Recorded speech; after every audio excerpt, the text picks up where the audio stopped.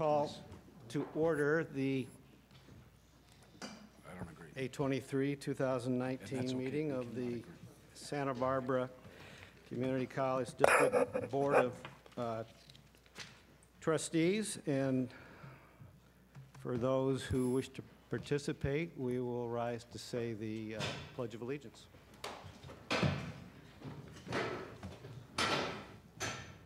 Pledge allegiance to the flag of the United States of America and to the republic for which it stands, one nation, under God, indivisible, with liberty and justice for all.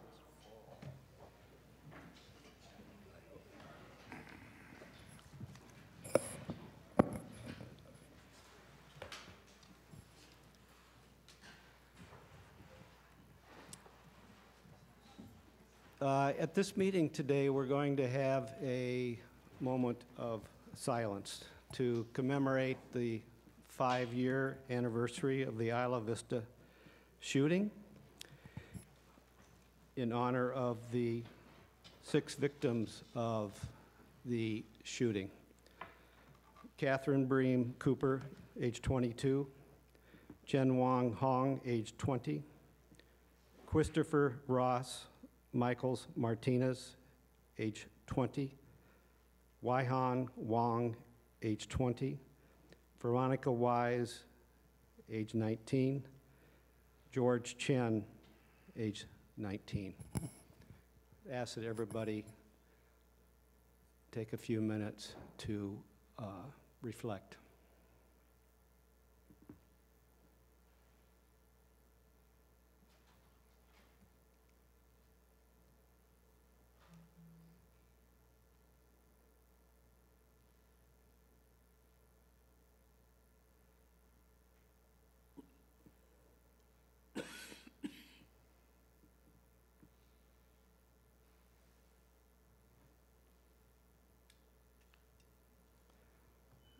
Thank you. We'll, we'll now proceed. I don't have the specific information, but um, I believe that, I don't know that any of the students who were uh, killed were from SBCC? They were all UCSB students. Okay, They were students. they were all students, They were students. That's, yes, that's the point. yes.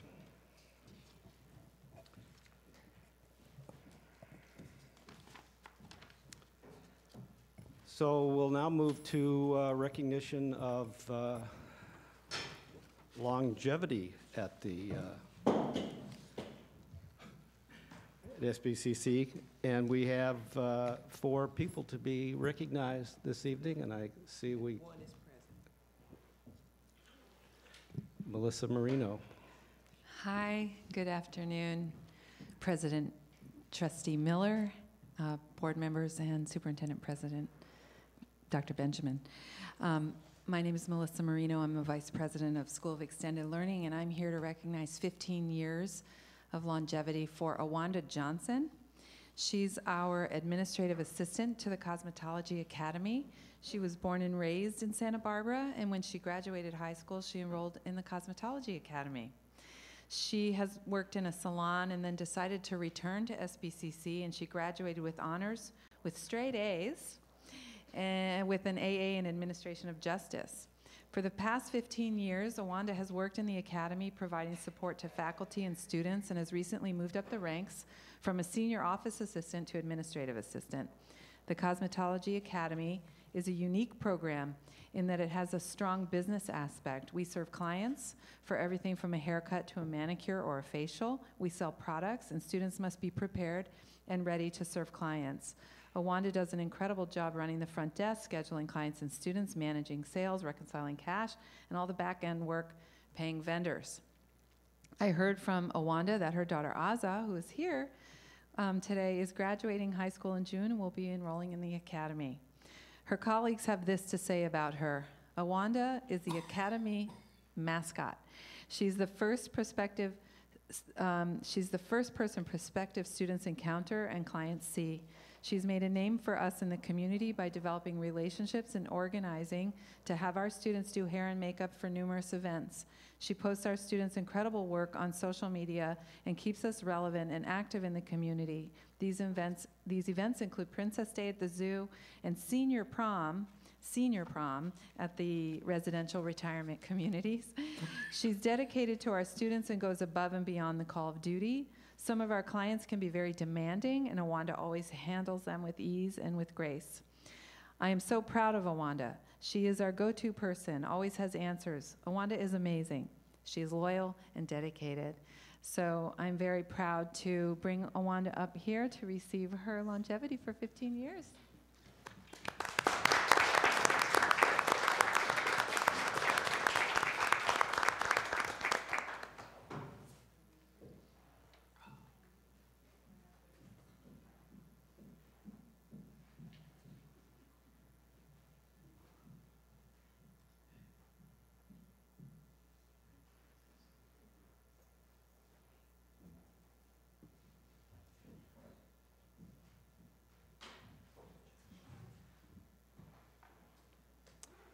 Also going to be making a, a quick comment.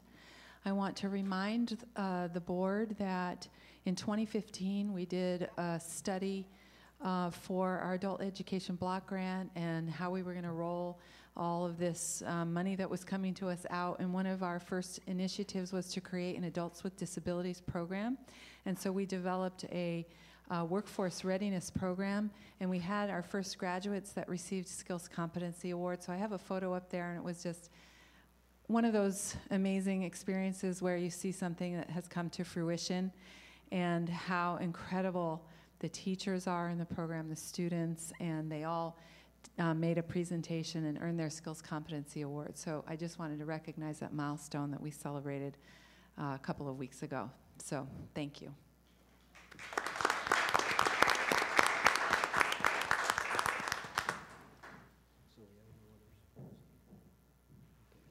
So I- believe the others to be recognized are not present, but I will read their, their names. Uh, uh, Robert Brown, uh, 10 years, Senior FRC Development Specialist.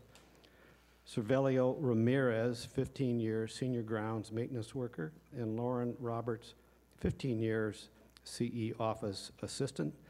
And I'll add my uh, congratulations to Awanda for her 15 years of service. Thank you very much.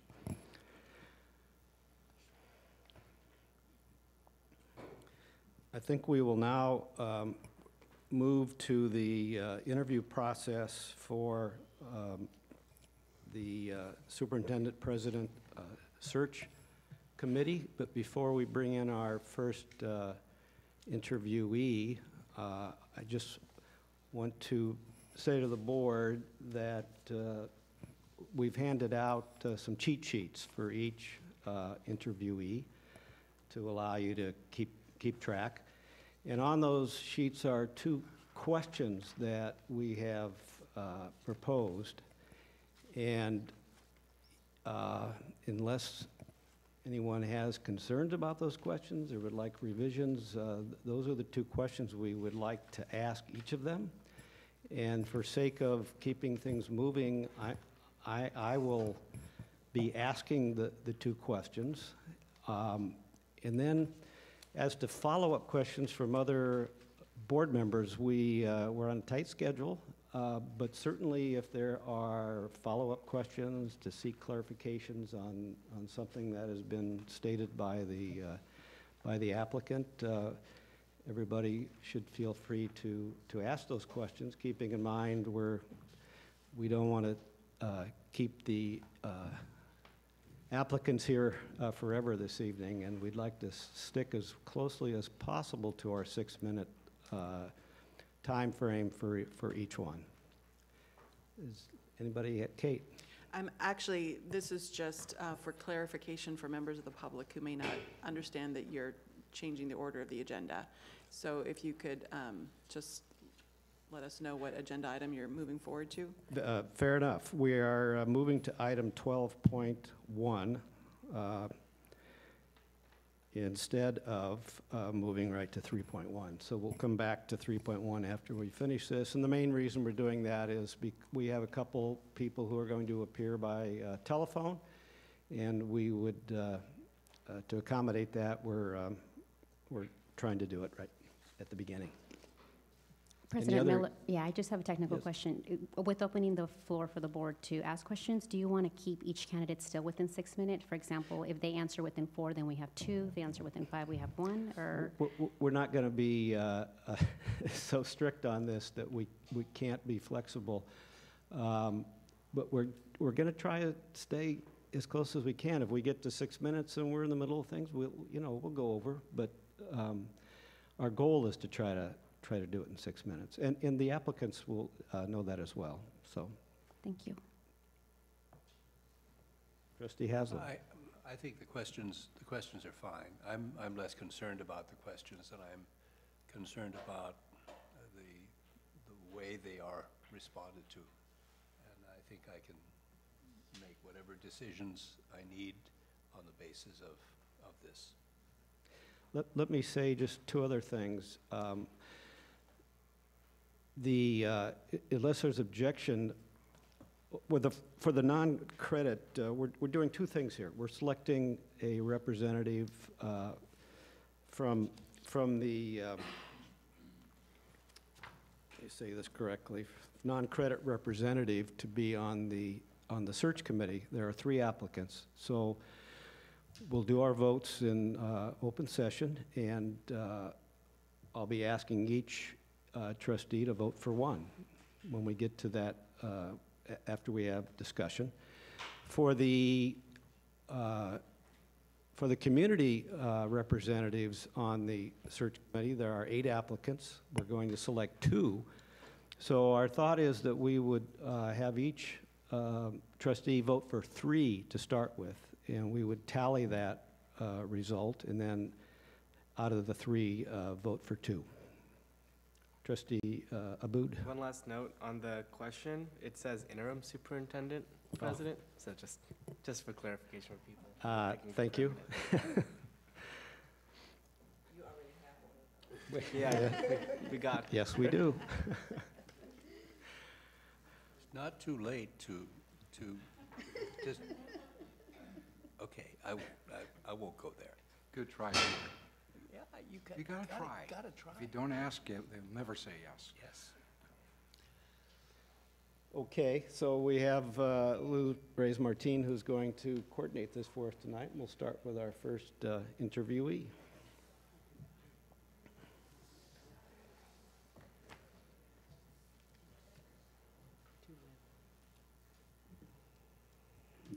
While that person's coming in, can I ask a question? Do you want the timer to come up on the screen for you?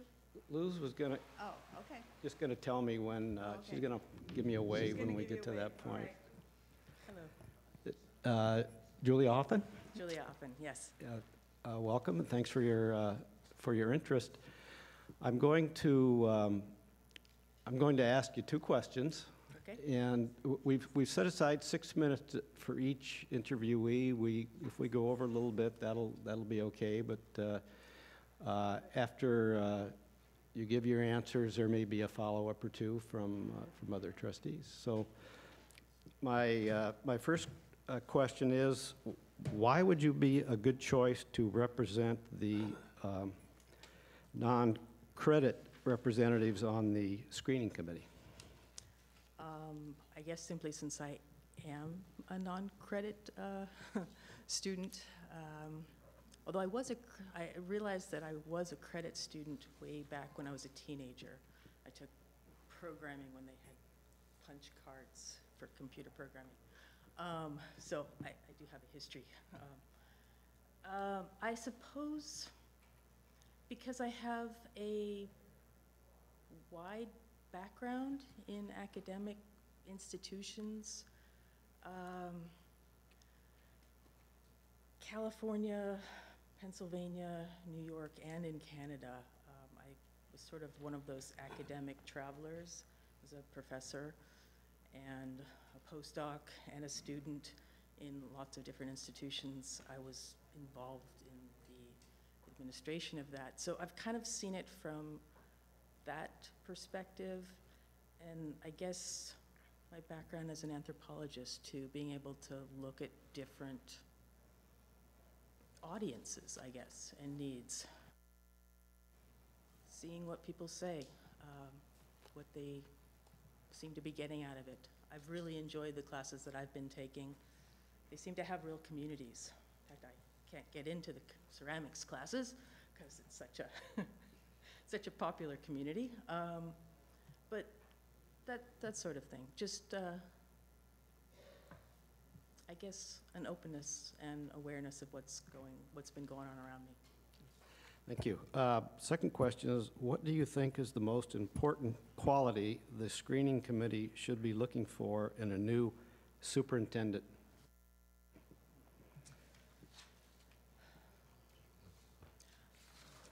I know that when you look for new administrators, there's a tendency to look for people with a strong vision, and, and that's important. Um, But I think it's also important to have someone who's adaptable, who's willing to go into a community, if they're not already from there particularly, and see what the needs are, see what the people are who are, want to say stakeholders, that's a horrible term, um, who are invested in the community, who are part of the community, who, who use the organization and what they're getting out of it and what they want from it. And be flexible enough to see how that their vision that they came in with might need to shift a little bit or might be something that could grow over time or um, so i guess an openness again i guess that's that comes from anthropology because that's what i do is I, I go in and i see what people do and how they understand the world Any uh, follow-up questions? Thank you very much. all right thanks Thank you. Thank you for, thank you for applying for this and to making yourself available. okay well thank you it's it's really it's wonderful it's a wonderful resource i'm really glad i could participate Thank We you. appreciate your interest, so thank you. Angie, I think it would be helpful to Okay, put the clock up, just to help me okay. keep track.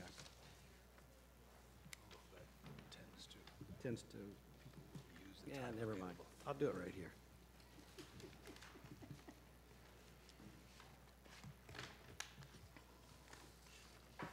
Hello, members of the board. My name is Jill Grisham.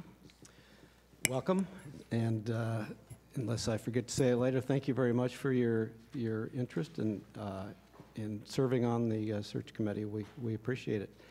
I've got uh, two questions for you, and, um, and then if there are some follow-up questions from the board that might seek clarification, uh, that might occur after your answers to the two questions. My first question is, why would you be a good choice to represent the uh, non-credit uh, representatives on the uh, screening committee? I would be a good choice because of my many decades of experience and background in human resources and my love of education and my strengths, which include empathy and connection. I've helped hire hundreds of people. Okay. Um, Let me ask you, what, what do you think is the most important quality that uh, the screening committee should be looking for in a new superintendent president? I asked my current part-time employer, who's professor at UCSB, Jayla Sandoval, that question this morning in preparation for the meeting, see what her thoughts would be.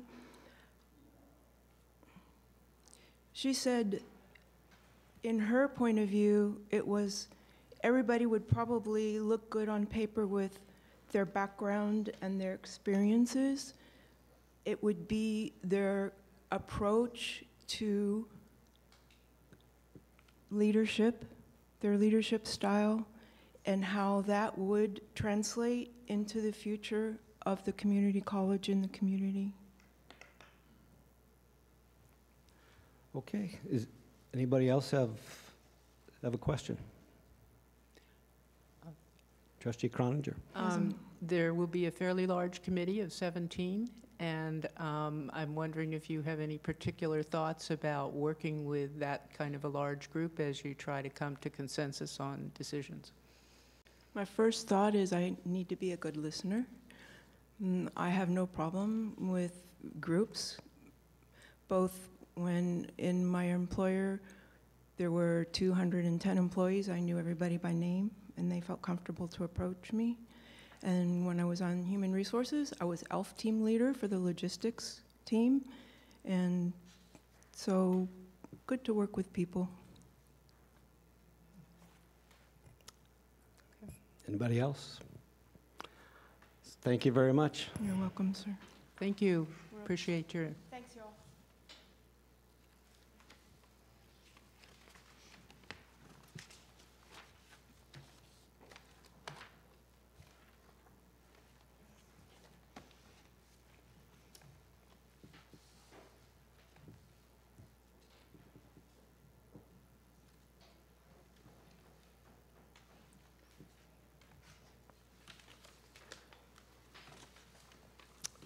Welcome.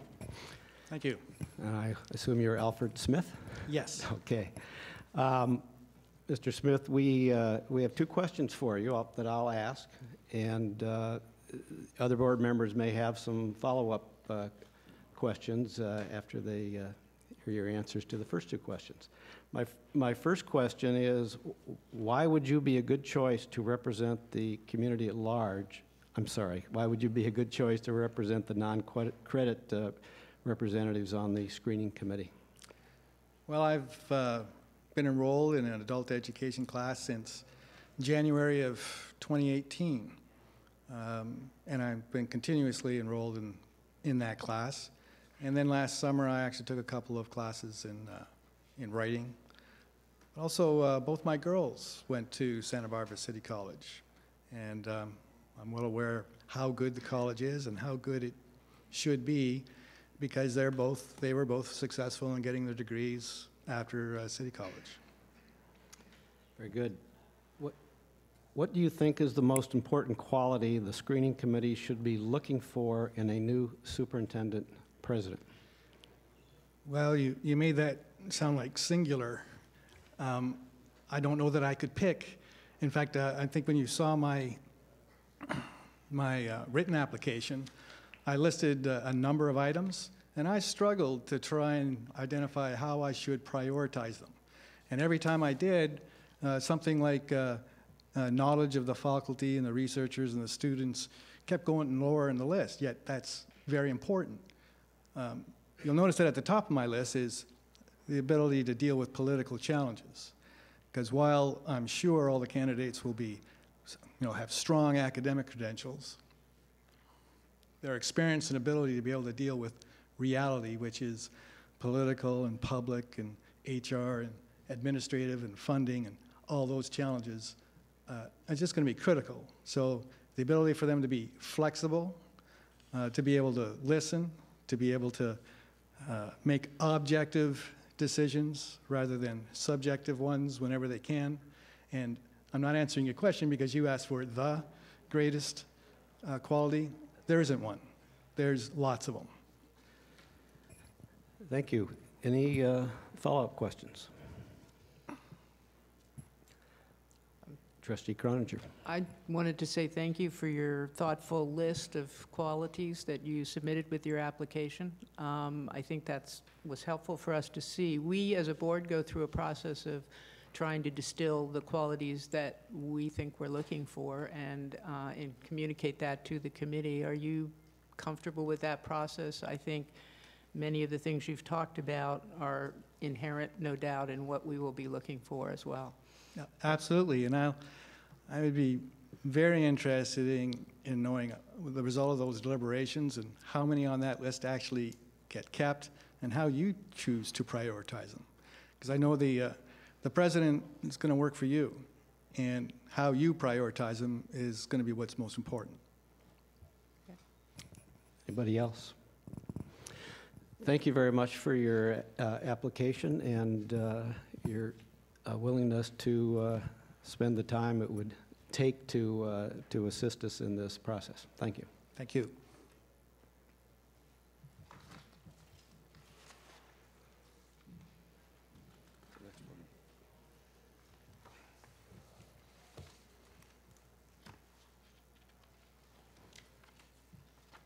For my list.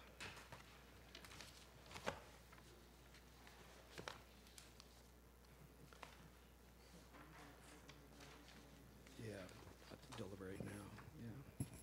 So, could you shut the, shut the door? Yes, thank you.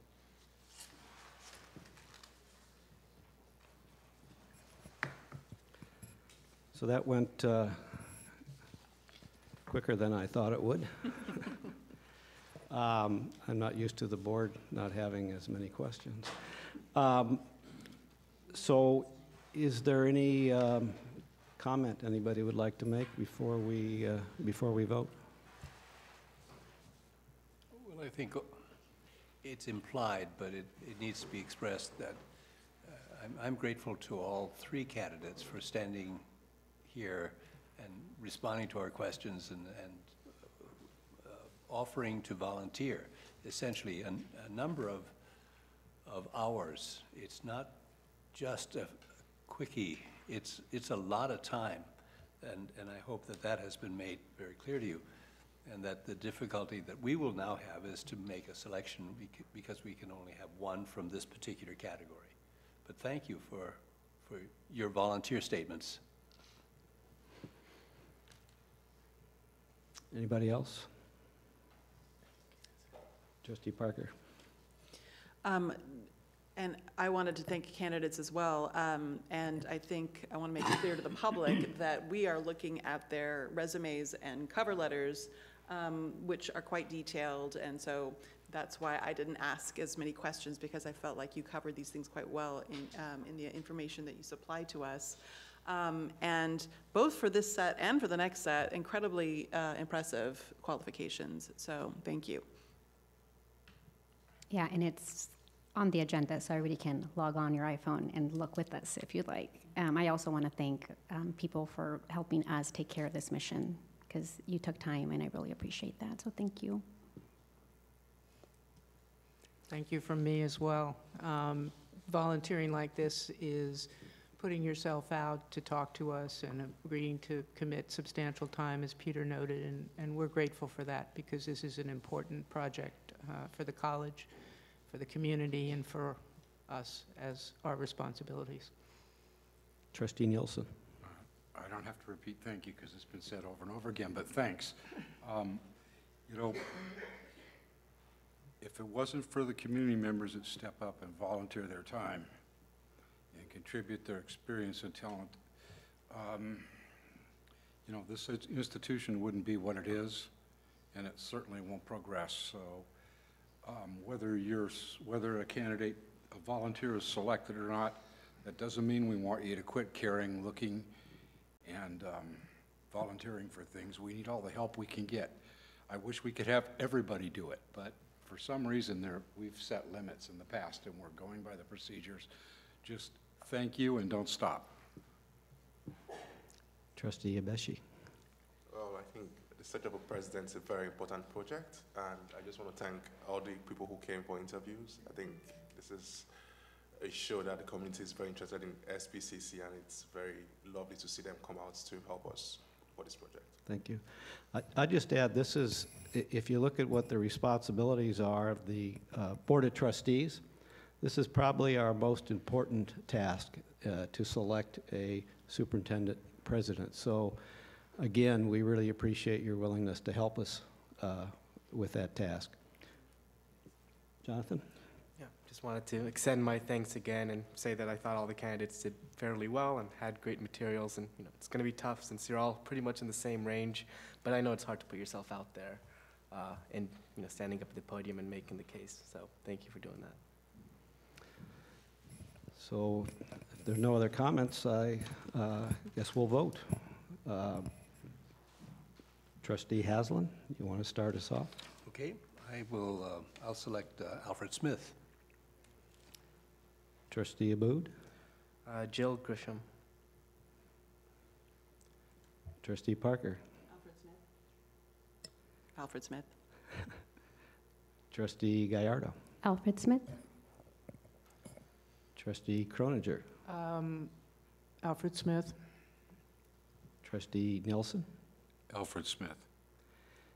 And Trustee Abeshi for advisory vote? Gio Griswold. And uh, I will vote for Trustee Smith, so Trustee Smith? Welcome.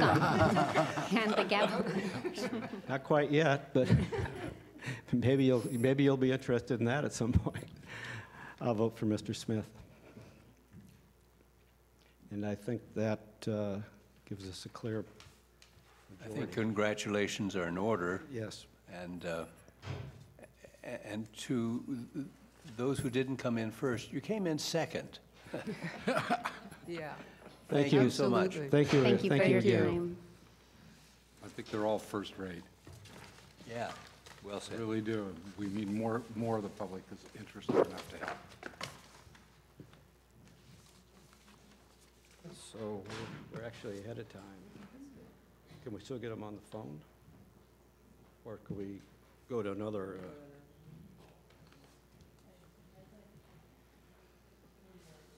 So we're running a little bit ahead Yes, of I schedule, know. but we do have um, one of the phone candidates who's ready to go. Okay, we'll do that. So we will ask, who is on the phone? I'm Melissa Bartholomew. You might be talking to me. Wonderful. Melissa, this is Luz. You are live with the Board of Trustees, so I will hand it over to our Board President, Robert Miller. Great, thank you.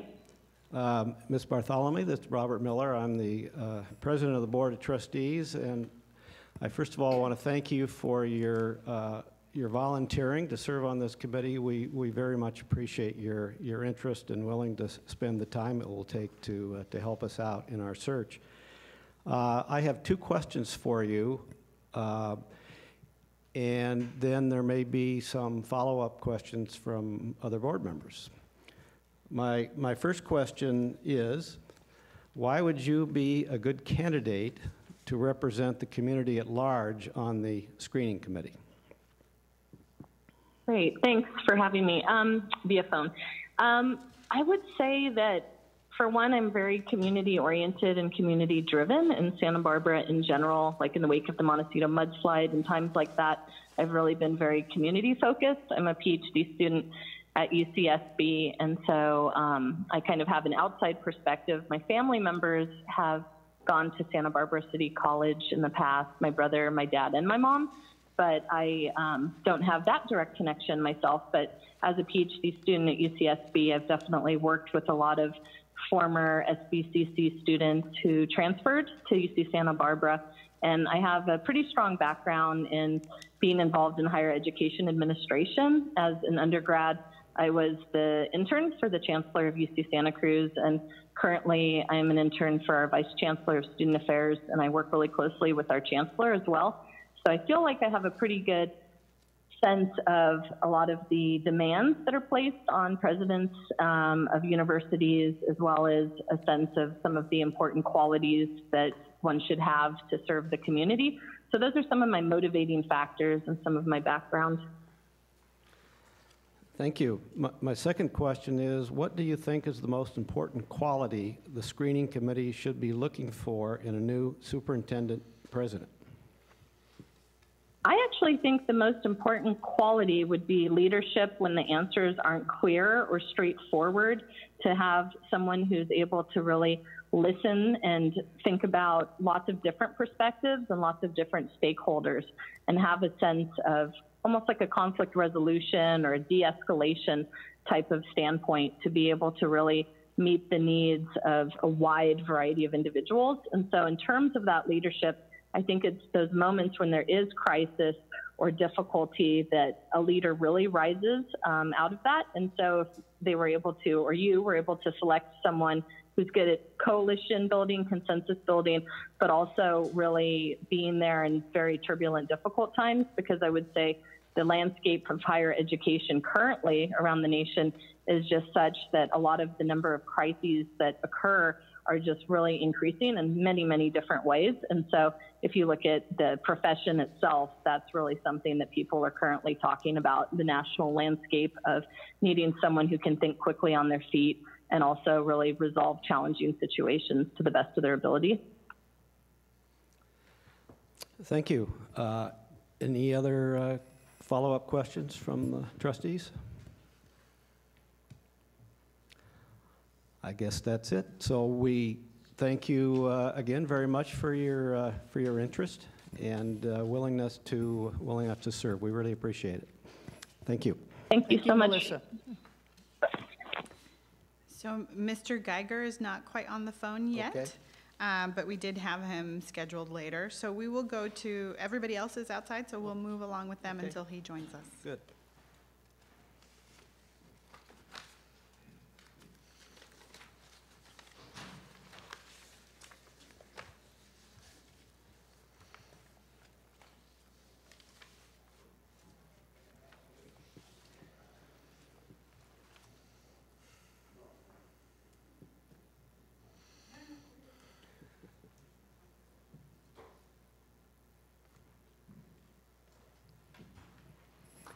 Welcome.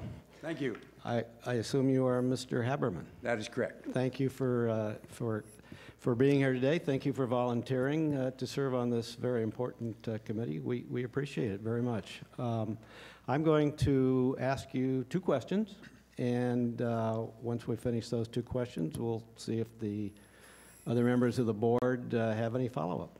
My, my first question, uh, Mr. Haberman, is why would you be a good choice to represent the community at large on the uh, screening committee? I've lived here for over 30 years. I, from my resume, you will notice I have, or at least indicate, I have a passion for education and healthcare. And as a result, my wife and I have devoted many of those 30 years to the educational arena. I've been chairman of the board of the University of California here at Santa Barbara. I've been on that board for 30 years. I've taught out there for three and a half years. I'm still on the board. I've served on every committee, and I'm still very active in many of the programs that exist there. My wife, who is also very interested in education, was on this board for nine years and is now an emeritus. We put our time, our energy, and many of our resources toward education. I've been on the Scholarship Foundation for 21 years, I've given many scholarships there as well. So as a result, I think I'm qualified. But most importantly, I think this is one of the most important jobs in this community. And I think it needs to be filled by the best possible leader you can find. And I think that I happen to have the experience both in corporate life, having run four New York Stock Exchange companies, have interviewed at all levels for all kinds of people. I think I have the uh, expertise to be a valued asset to uh, your search committee. And those are the reasons I think that I would be qualified.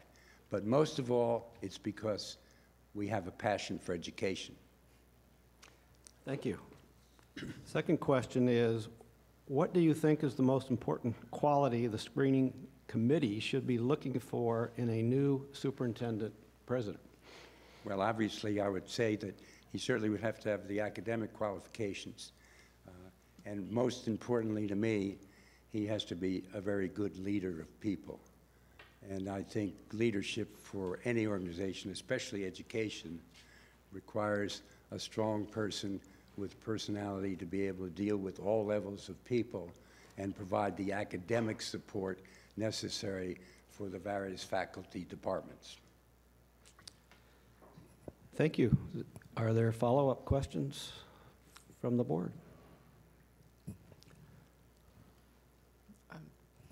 Trustee I think we're moving along, so there might be time. Um, You certainly have experience in hiring, and um, I'm interested in whether uh, this type of committee, which will have uh, 17 members and two co-chairs, uh, will you, uh, do you have experience working in that kind of a group where not only are you um, making a very important decisions for people to bring to us to the, to the board level for um, college CEO, but also working together as a group? I believe I do. I've sat on many, many boards, and I've interviewed on those boards, and some of those boards had 14, 15 people on the search committee, and the same uh, with the university. As you probably know, the University of California here, when they do a high-level research, there are usually seven or eight academic people, three or four administrators, and a whole host of uh, invited participants from the community who have an interest in the university. So yes, to answer your question, having large groups of people uh, is not an issue for me. Any other questions?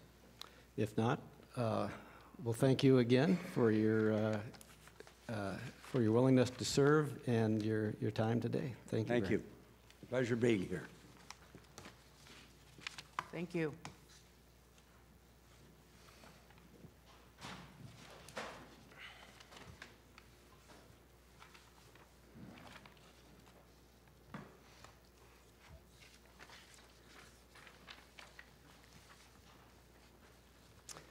Evening. Mr. Cost, uh, good afternoon, or evening, not quite.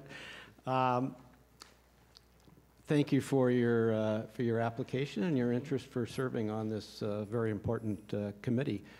I'm going to ask you two questions, and uh, then if there, uh, there may be follow-up questions from the, from the other board members. My, my first question, Mr. Koss, is why would you be a good choice to represent the community at large on the screening committee?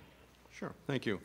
Uh, Well, number one, I want to point out that I have no formal SBCC or UCSB affiliations. So from that point of view, I'm completely independent, just representing the general public at large uh, and with a business background.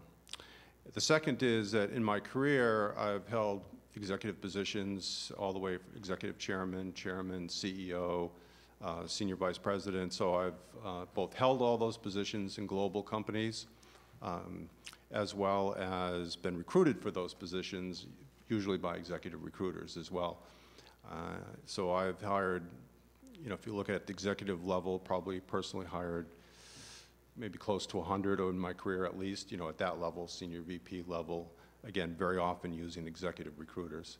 So I think I've, so I know the process, now not for academic, but for business, and, um, and again, I've served on uh, many you know, many boards as the chief executive officer.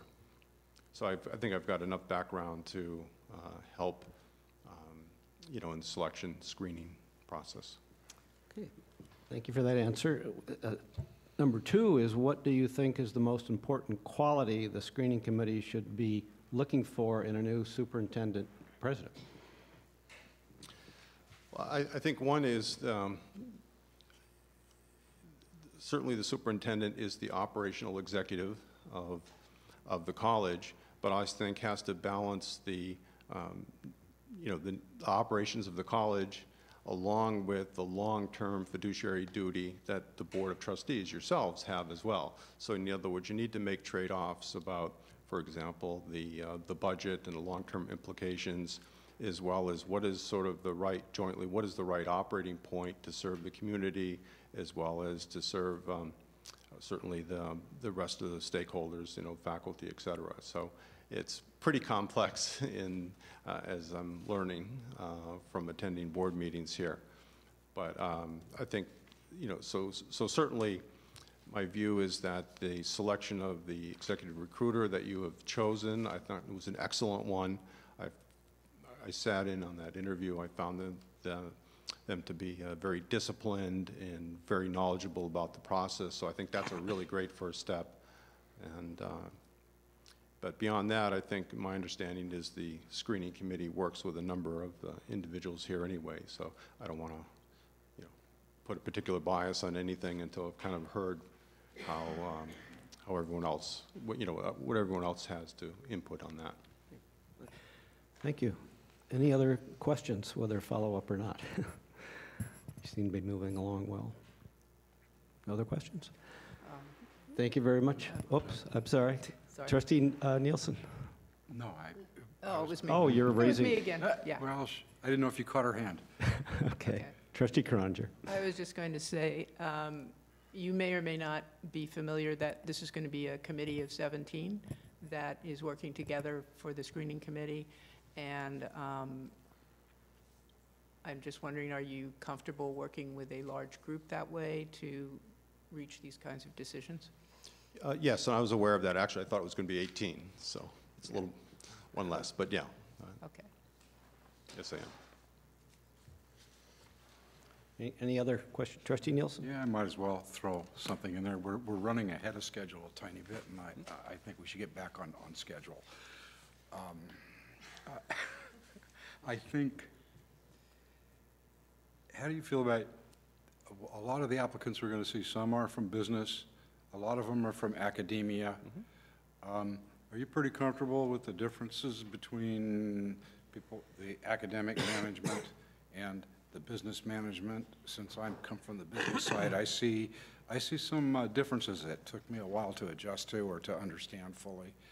Um, How do you feel about that in, in a- in a nutshell, if you could? Well, I- I- again, I I certainly understand that to be the case. Uh, I certainly, I think I'll learn a lot, actually, um, from interacting with, you know, the group, uh, which will be good. And uh, I certainly understand it's certainly, you know, different um, in the sense that, as you point out, it's a larger group that has, sta- of stakeholders that have input and, into the process. Um, Yeah, and, and candidly, most of my experience in the past, you know, for example, uh, being a CEO or executive chairman, it's a relatively small board and some key folks, it's not anywhere near the size here. So I re- recognize that that's a subs- substantial difference, but I think it's certainly doable. That can-do attitude could be really important. Thank you very much for your answer. Okay, great. Thank you very much. Anybody else? Okay. Just to say thank you. Thank you for, for coming here. Thank you for your participation in previous board members, uh, board meetings, and for your, for the time and thought that you give to uh, what you do here. Good, thank you. Thank you.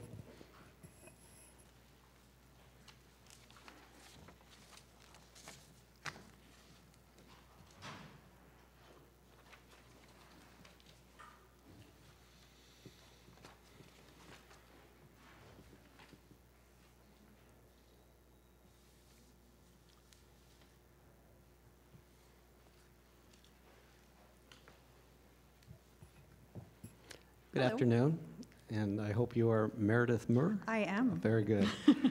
Then I'm, uh, I'm on the right page. Thank you for uh, uh, being here today. Thank you for your uh, application and and willingness to, uh, to devote your time to helping us pick a, uh, a- a a new uh, superintendent president, probably one of the most important tasks that we have as a board of trustees. I have two uh, questions for you tonight, and then there may be some follow-up questions uh, after, after those two. First of all, why would you be a good choice to represent the community at large on the screening committee? Um, So right now, I am a consultant. I consult on science uh, strategy and proposals, but before August, I was at the university since 2001, first getting my PhD in biology, and then uh, working in both science education outreach and in the Office of Research and in Proposal Development. So I would say that I really understand universities and higher education, and I um, firmly believe in the value of uh, public higher education and how it can really transform lives, because I've seen that happen. So that's one reason. I think um, when I was at the university, I served on several search committees.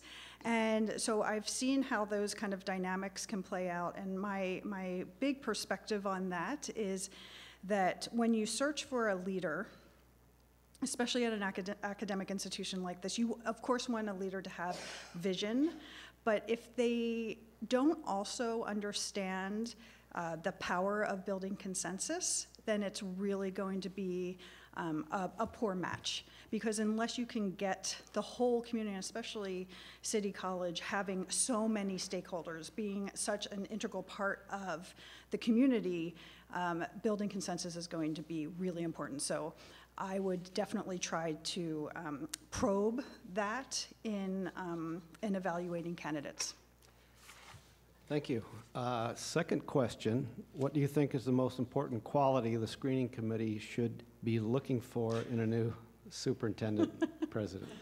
Okay. Um, consensus building. Surprise.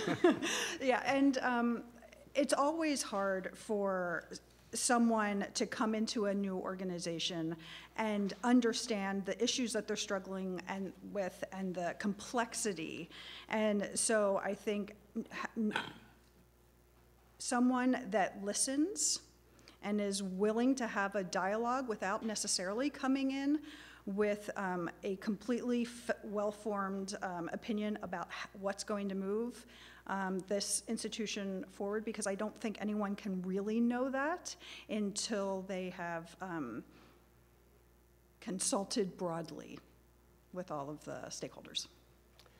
Thank you. Uh, Do we have any follow-up questions or other questions? Trustee Igbechi? Uh, I want to thank you for coming. What were some of the most important lessons you learned from previous search committees? Um, I have learned that it often comes down to the pool.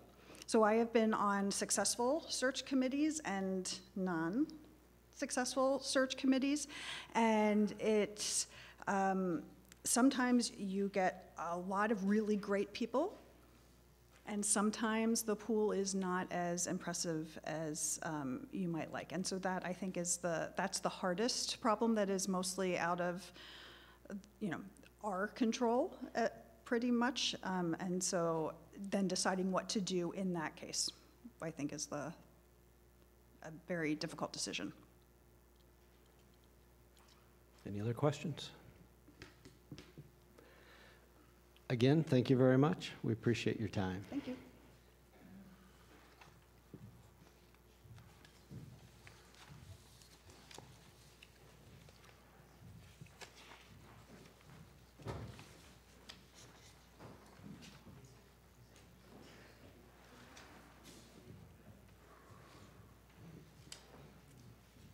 I think we're ready for our- our second Geiger? phone. Okay. Hello, is Hello? this Mr. Geiger? Yes, this is Seth speaking. Hi, Seth. This is Luz. Welcome. I'm going to Hey, hand it over thank to you. our board president, Robert Miller. Dr. Geiger, uh, good afternoon. Hey, We- Robert, how are you? I'm very good, thank you. We, uh, we welcome you to uh, the process today, and thank you for your willingness to serve and devote your time to helping us pick a new uh, superintendent uh, president. I, I have two questions for you, and then there may be Sure. fol- follow-up questions from other board members. My first question is, why would you be a good choice to represent the community at large on the screening committee? Sure. Well, I'm very committed to the quality of life in Santa Barbara and success in terms of education and ensuring that education is something that is broadly available to the larger community is amongst the most, if not the most important things that we can provide to our next generation. And so, for that specific reason, I'm motivated to want to be part of this process and ensure that we can attract and bring in um, some of the strongest candidates and then ultimately the strongest person to help realize that vision. Because I do believe it is a big part of the backbone of the community. Um, and so I'm personally motivated to that. I've devoted my life to education of one sort of another um, over the years. I'm no longer uh, an academic, but I have very extensive ties to the academic world. And in the business world where I reside most of the time, I am effectively a, a coach and a trainer to that world. And so it's, um, it allows me to bridge that. I, I think in today's world, academics is not an ivory tower initiative. It's very much integrated into the community and integrated into our business and economic life. And so, having bridged that those two worlds, I think there are a lot of things that I can offer there as well. Thank you. What, what do you think is the most important quality the screening committee should be looking for in a superintendent president? Yeah. Well, I think there are some essential elements, but that, that are not going to be necessarily sufficient. So I think having a real understanding of the academic needs is certainly necessary, but I would say not sufficient. I think having an administrative track record is going to be very important because this is a complicated job at a complicated time where you're serving a variety of different community constituents as well as the, the students and the faculty. And so that requires, I think, a unique skill set within that. But I think even beyond that, I think really the, the role here is one of, of compassion and commitment.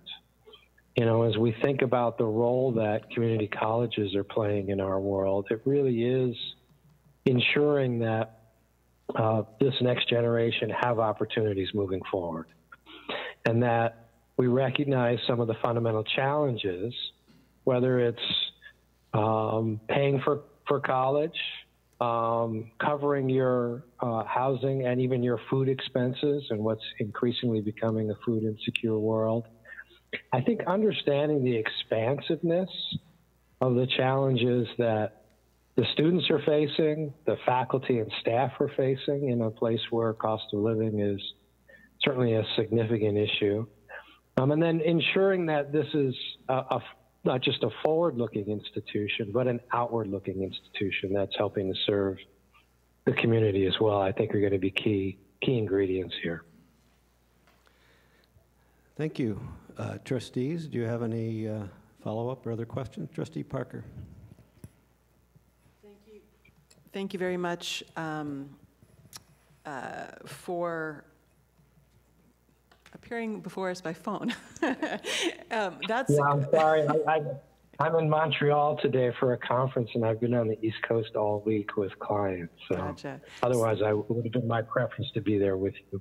No, that's that's fine. But my, my question is related to that in the sense that when I when I look at your, your letter, I can see that you are quite uh, involved in a number of things that take you away from Santa Barbara. Um, and so my question is just, can you physically be here um, for the search committee commitments? Sure. So I've seen the schedule, at least the schedule that you laid out for the next uh, couple of months. So one of the benefits of having your name on the company is you actually do get to control your own calendar. And so making this a priority, um, I will just build my travel needs around, um, you know, requirements that will uh, forced me to be in town and in Santa Barbara, which is always my preference. Um, but you know, uh, business needs will take me around the country pretty consistently. But um, I, like I said, I do, do get to control my own schedule. Thank you. Any other questions? Dr. Geiger, I uh, thank you for your time and um, willingness to uh, serve. Great. It'd be my pleasure, and I look forward to meeting all of you. Thank Goodbye you. now. Okay. Bye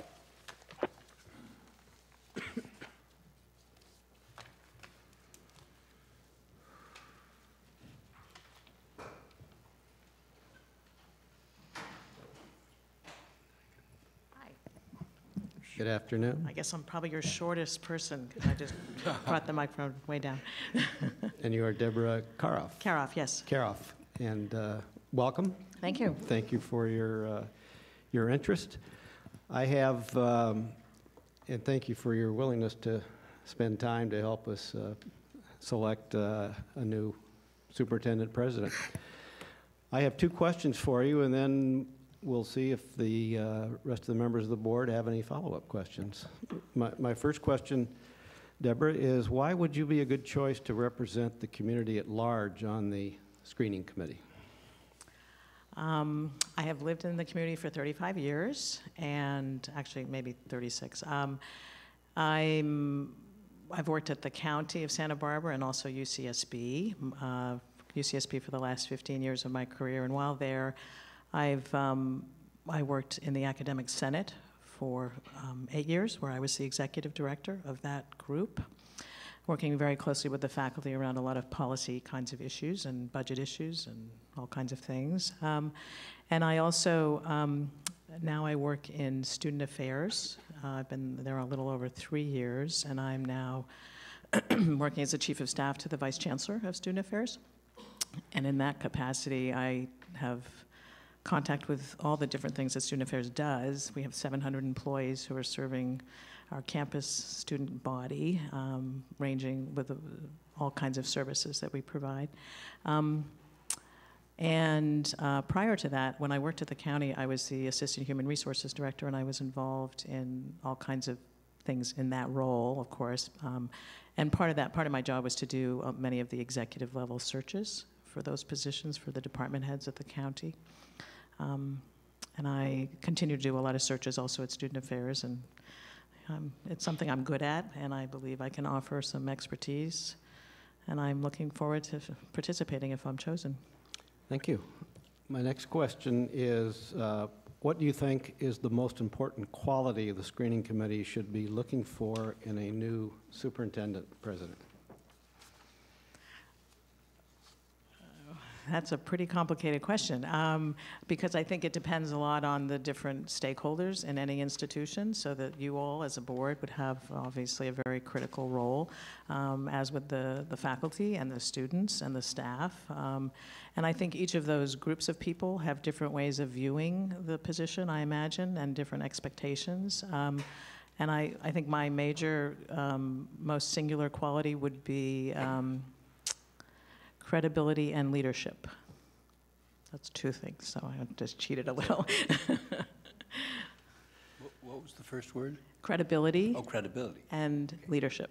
Thank Actually, maybe, you know what, I, instead of credibility, I would say integrity and leadership. has that?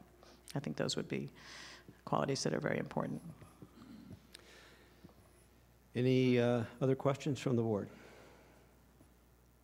The question was uh, asked of an earlier applicant about time. Would, would you have the time for this? Because it is substantial.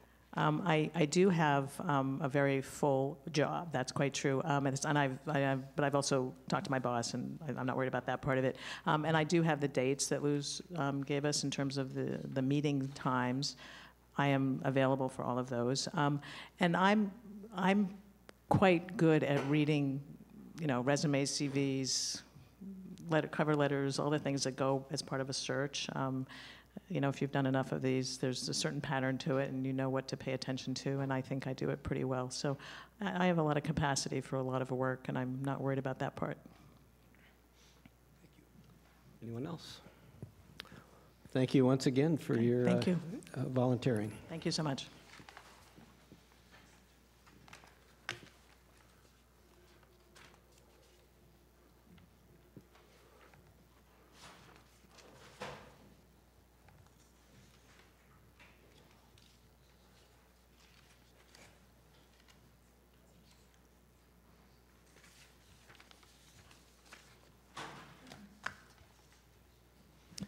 Afternoon. Good afternoon. Can you hear me okay? Might want to pull it up just a little bit if you can. There you go. It's going to stop. Okay. Okay. And uh, if you could tell us your name? Sure. Aaron Jones. Okay, I just want to make sure I'm on the right page. And Mr. Jones, we thank you for being here today and appreciate your willingness to uh, serve on this very important uh, committee and give of your time to uh, help us in our, in our search. I have two questions for you, and then uh, there may be follow-up uh, questions or additional questions from the, the board. My first question is, why would you be a good choice to represent the community at large on the screening committee? Sure. Um, I've been in the community for now 30 years. Uh, I've actually been a City College student for a brief period of time. I worked uh, here in the Transfer Center for a couple of years. Presently, I work at the University of California, Santa Barbara as the director of the Educational Opportunity Program, where I've been uh, employed for almost 15 years now. I've served on multiple high-level search committees, uh, including for the current dean of uh, the Gevirtz Graduate School of Education, uh, Jeff Milem, um, as well as many directors and other search. So I can appreciate the value and importance of really having a, um, a well-thought-out search committee for this very important task.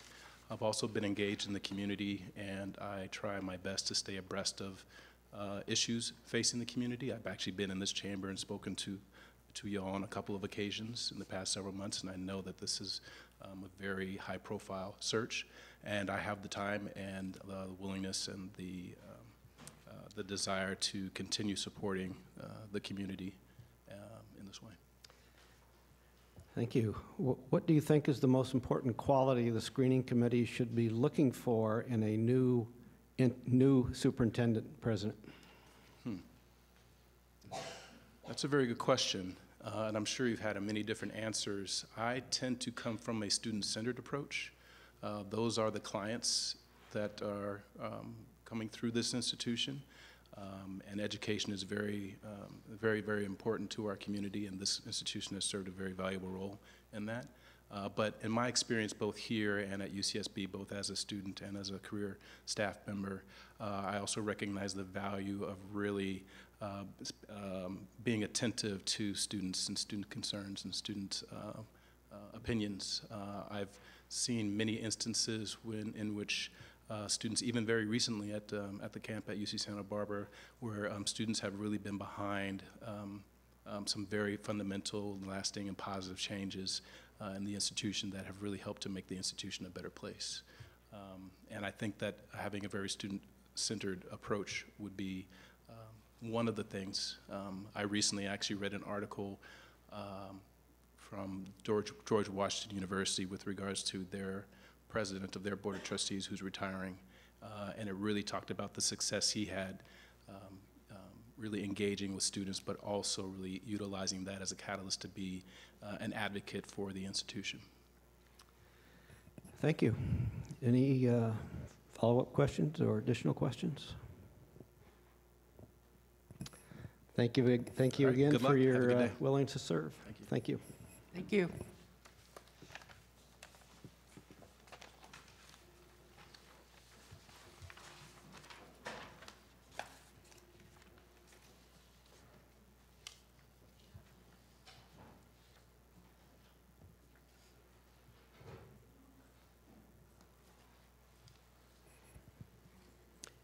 Good afternoon, and you are Helen Larson, correct? I am. And uh, welcome uh, to the uh, process this afternoon. We, uh, first of all, want to thank you for your willingness to serve and uh, the, the uh, time you're willing to give to help us select a, uh, a new superintendent president. I have two questions for you, Helen, and uh, after you've given those answers, the other board members may have follow-up questions or additional questions. My, my first question is, why would you be a good choice to represent the community at large on the screening committee? Well, I've been here since 1962 when my dad took a job here at City College as a psych prof and counselor, and I'm a graduate of Santa Barbara City College. Um, and I raised five kids here. Uh, mostly worked as a realtor here in our community, but I have participated in different campaigns. Um, probably the one well, the one that I'm working on now is fire safety because I'm attending the Fire Safe Council meetings, but I was the first lobbyist to go back to Washington, D.C. and speak to 36 senators about the uh, so-called, uh, you know, the, the fee that they were going to do, the $5 fee, the forest fee. Anyway, so uh, no, I, I can speak pretty clearly on a number of issues that our uh, town has gone through since the last 57 years. Thank you. What, what do you think the most, uh, is the most important quality the screening committee should be looking for in a new superintendent president? The ability to communicate to all. I think sometimes uh, people get caught in certain circumstances, and and it's difficult to reach out to each and every person. Um, but that that's probably the most important in my mind. Anybody have uh, additional questions? Thank you very much. You're welcome.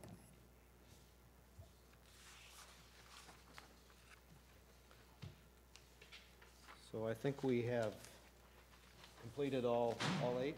Okay. And would ask at this time whether, um,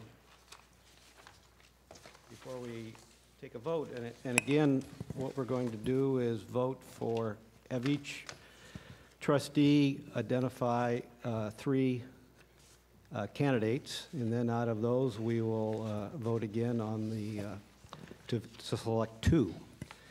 Uh, But before we do that, are there any uh, comments that uh, anybody has? Trustee Haslund? Yeah, I have a complaint. Um, Oh, gosh. Yeah, I- this is not easy. I mean, we have uh, eight very highly qualified people. And um, to force us into making a choice seems like cruel and unusual punishment. And I blame the president for this. I'll I'll accept that. But I mean, I'm serious. The- the- uh, Every, every, every candidate came up and had something really interesting to say, and that would make me say, okay, that's the person, until the next person. And then, so it's difficult. We'll do it, but it's difficult. Anybody else? Trustee Parker? I have to agree with trustee Haslund. I felt like I was looking at the, the possible founding board of a for-profit educational company um, just by combining all of these uh, letters and and resumes. So um, uh, we've said it to the other group as well, but thank you so much because it's, uh, it's an amazing group of people who've come forward. Trustee Abboud? Yeah, I have the pleasure of having worked with half these people and know them, the, the ones I've worked with know them well. And so it's, it'll be a hard decision, but, and the ones I don't know are also amazing. So I'm happy we're not uh, settling for anything. Yeah, Trustee I'd like, I'd, I'm sorry, I didn't mean to interrupt. I was go just ahead. going to say that um, it's a great group of people volunteering here to help us with this important task, and thanks to each and every one of them. Um, You guys are amazing. It's wonderful. I agree. Any more comments? Trustee Nielsen? Yeah, the value of, um, of people fro- out from the community, helping to filter and choose and refine it for us is um, incredible, and I don't think we could put a dollar amount on it, and if we could, then we'd pay you. Um, Because we can't, we can't afford to pay you, and um, it's really, uh, it's really necessary. Thank you for stepping out of the woods and offering. I'm sorry we can't use every one of you. Thank God for such a great community. We got more applicants and volunteers than we needed, and that gives us more decisions to make. Thank you. Okay, well, we have to make it a decision. Maybe, does anybody need some more time to kind of sift through their papers to? What do you want us to do? Vote for We're- two? We're going to vote for three to start For with. three, okay. Vote for That's what three. I thought. Got it. And uh, I'll start with student trustee Abeshi for his advisory vote. You want to, you want me to come back? Oh, yeah. Okay. Trustee Nielsen? Um, I have Norm Haberman, Gregory Goss, and Deborah Karoff, not necessarily in that order. Trustee Croninger? Um, Well, I didn't know it, but I'm agreeing with, with Craig here, Norm Haberman, Gregory Koss, and Deborah Karoff. Um, One of the things that I'm thinking about is a balance. Um, We have several people who are at UCSB, and that contribution is important to our community. That's a major institution in our community. Um, And as well, we have uh, a need, I think, for people who are maybe not associated with an academic institution but have a different perspective on the community. We're, we're looking for a representative of the community at large. So I'm trying to, to look for that broader piece of it as well. Well said, because that's kind of what was going through my mind. I want as much variety as I can get. Thank you. Trustee Gallardo. Norm Haberman, Gregory Koss, and Helen Larson. Trustee Parker. Um, Seth Geiger, Meredith Murr, and Aaron Jones.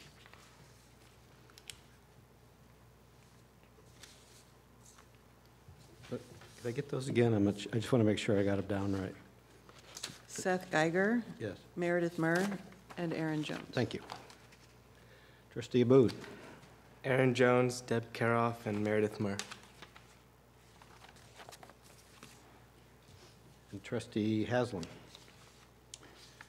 Um,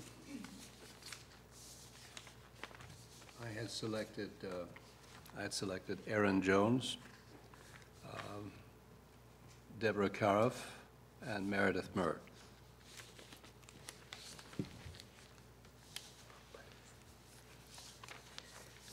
And uh, I have selected uh, Mr. Haberman, Ms. Murr, and um, Mr. Jones. Jonathan, can I get yours again? Uh, yeah, Aaron Jones, Deb Karoff, and Meredith Murr. And who was number three, Craig? For Your- me? Your third choice? Uh, for- uh, Deborah Karoff. Oh, okay. Trustee Abeshi. Yeah, I think I will go for Aaron Jones, Meredith Murr, and Norm Haberman.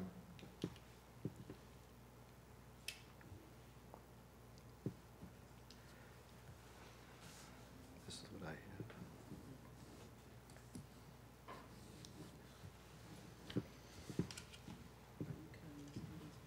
Yeah, is that, is that what you have?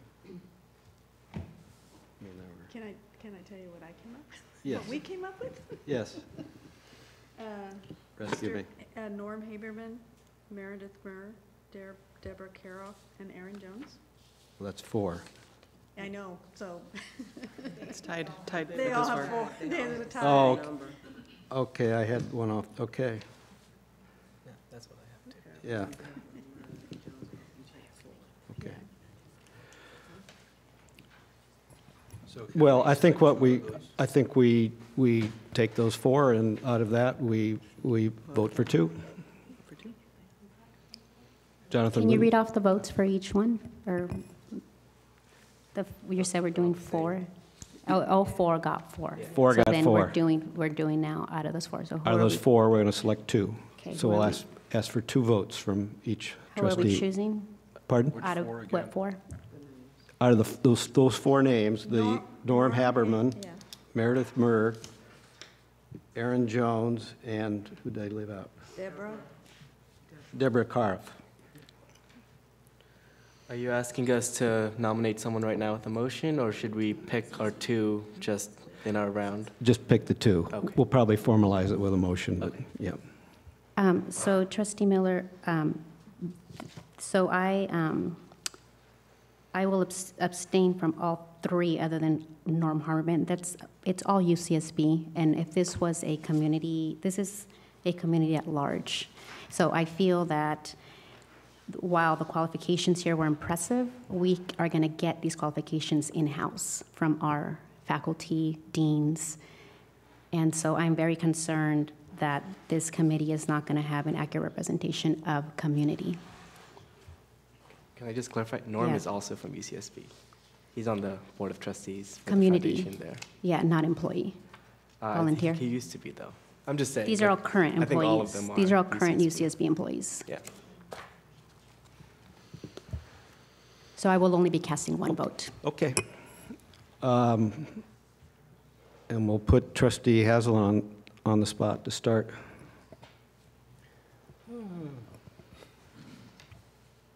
All right. So I will, uh, uh, boy, this is hard. Um, Norm Haberman and uh, Meredith Murr. Trustee Abboud? Um, Aaron Jones and Meredith Murr. Trustee Parker? Um, uh, Aaron Jones and Meredith Murr. Trustee Gallardo? Norm Haberman. Twice, because you get two votes.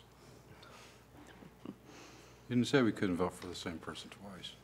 You can't. Hey, I'm just saying. Trustee Croninger? Um, Norm Haberman and um, Deborah Karoff. Trustee Nielsen? Norm Haberman and uh, Deborah.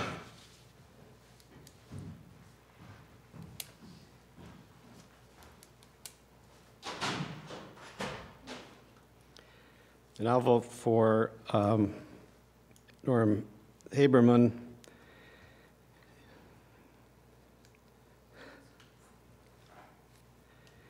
And Meredith Murr.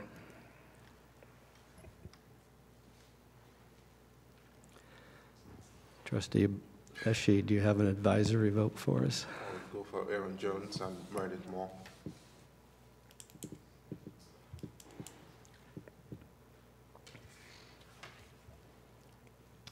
I came up with uh, Haberman and uh, Murr. That's also what I have. So I think those are our, those are our two selections, Mr. Haberman and uh, Ms. Murr. Are they, I see, uh, I don't see Mr. Haberman here, but I see Ms. Murr. Congratulations, thank you. And thank you to all of you who are still here for, again, for volunteering. Uh, We very much appreciate it. And can I just have a point of clarification, and I don't know if this is for Ms. Murr right now, but when I looked at this when you spoke, I did not think you were a current employee at UCSB. Is that incorrect? You're not a current employee. Okay, thank you. Yeah. So to, uh, to formalize what we've done, we need a, a- a motion uh, for, I think we can do it on motion for both, that um, the motion would be that we've selected uh, Norm Haberman and Meredith Murr for the community at large uh, representatives on the screening committee, and uh, and for Alfred Smith on the, uh, as the non-credit representative. Do I have a motion? moved. Is there a second? It's been uh, moved and and seconded. All those in favor? Aye. Any opposed? Aye. Okay, So the motion passes. How many, oh, okay, who opposed, please? Trustee Gallardo. And Trustee Nielsen. Oh, I'm sorry. You're both.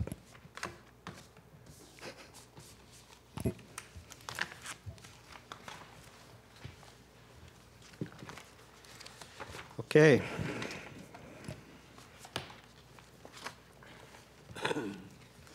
Find my place. Number three. Number three is uh, uh, approval of the minutes for the meeting of April 11th, 2019. Do I have a motion to approve? I so move. Is there, a... Are we going to do the pres, the co-chair? There's a correction in the minutes, right? Um, Just a question, are we going to do the co-chair or not? The co-chair? thank you. Thank you. I would like to do that. Um, We would like, let's go back to the, uh, to our prior uh, item.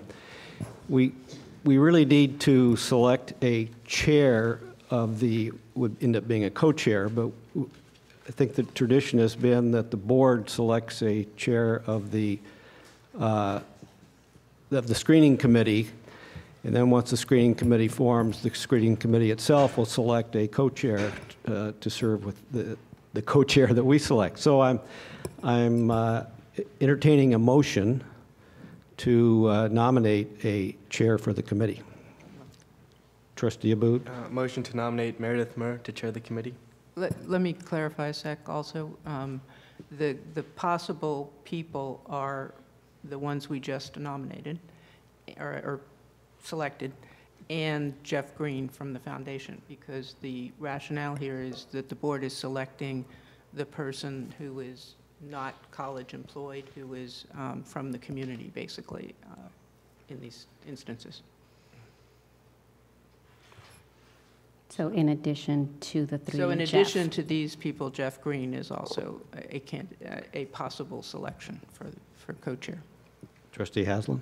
Well, I would like to formalize that and nominate Jeff Green. And I would second that. Um, Trustee Parker? I just have a question because this is not agendized as something that we're doing, and so I'm surprised. Um, And I, I think I have a, a question as to whether or not it's actually appropriate for us to take action since it's not agendized on this. Well, Is this a formal vote, or is this a recommendation um, to the search committee? Because I feel like if it's something that we're taking a formal vote on, surely it needs to be agendized. The committee is going to meet for the first time on um, May 30th, before our next meeting. So in a perfect world, we would have had this particular motion agendized, but Well, in a perfect world, we follow the Brown Yeah. Act, and we have to follow the Brown Act.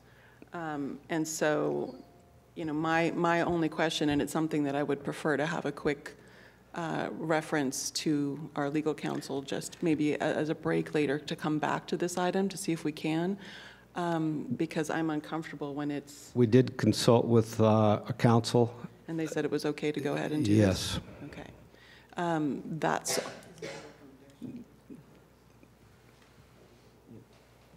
that's, that's what I needed to hear, that it's okay to go ahead and just appoint a chair without it being something that's agendized separately. We we did consult with, uh, with counsel.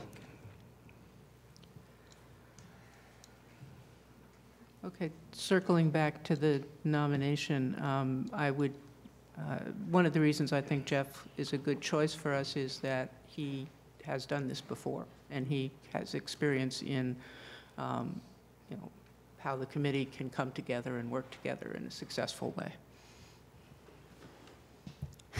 Just for lack of transparency, I do concur with trustee Parker. I definitely 100% second Jeff's nomination. I would be prepared to vote for him tonight, but it is action, and it's, the action is to appoint one non-credit two, and it's not also an action to appoint the chair.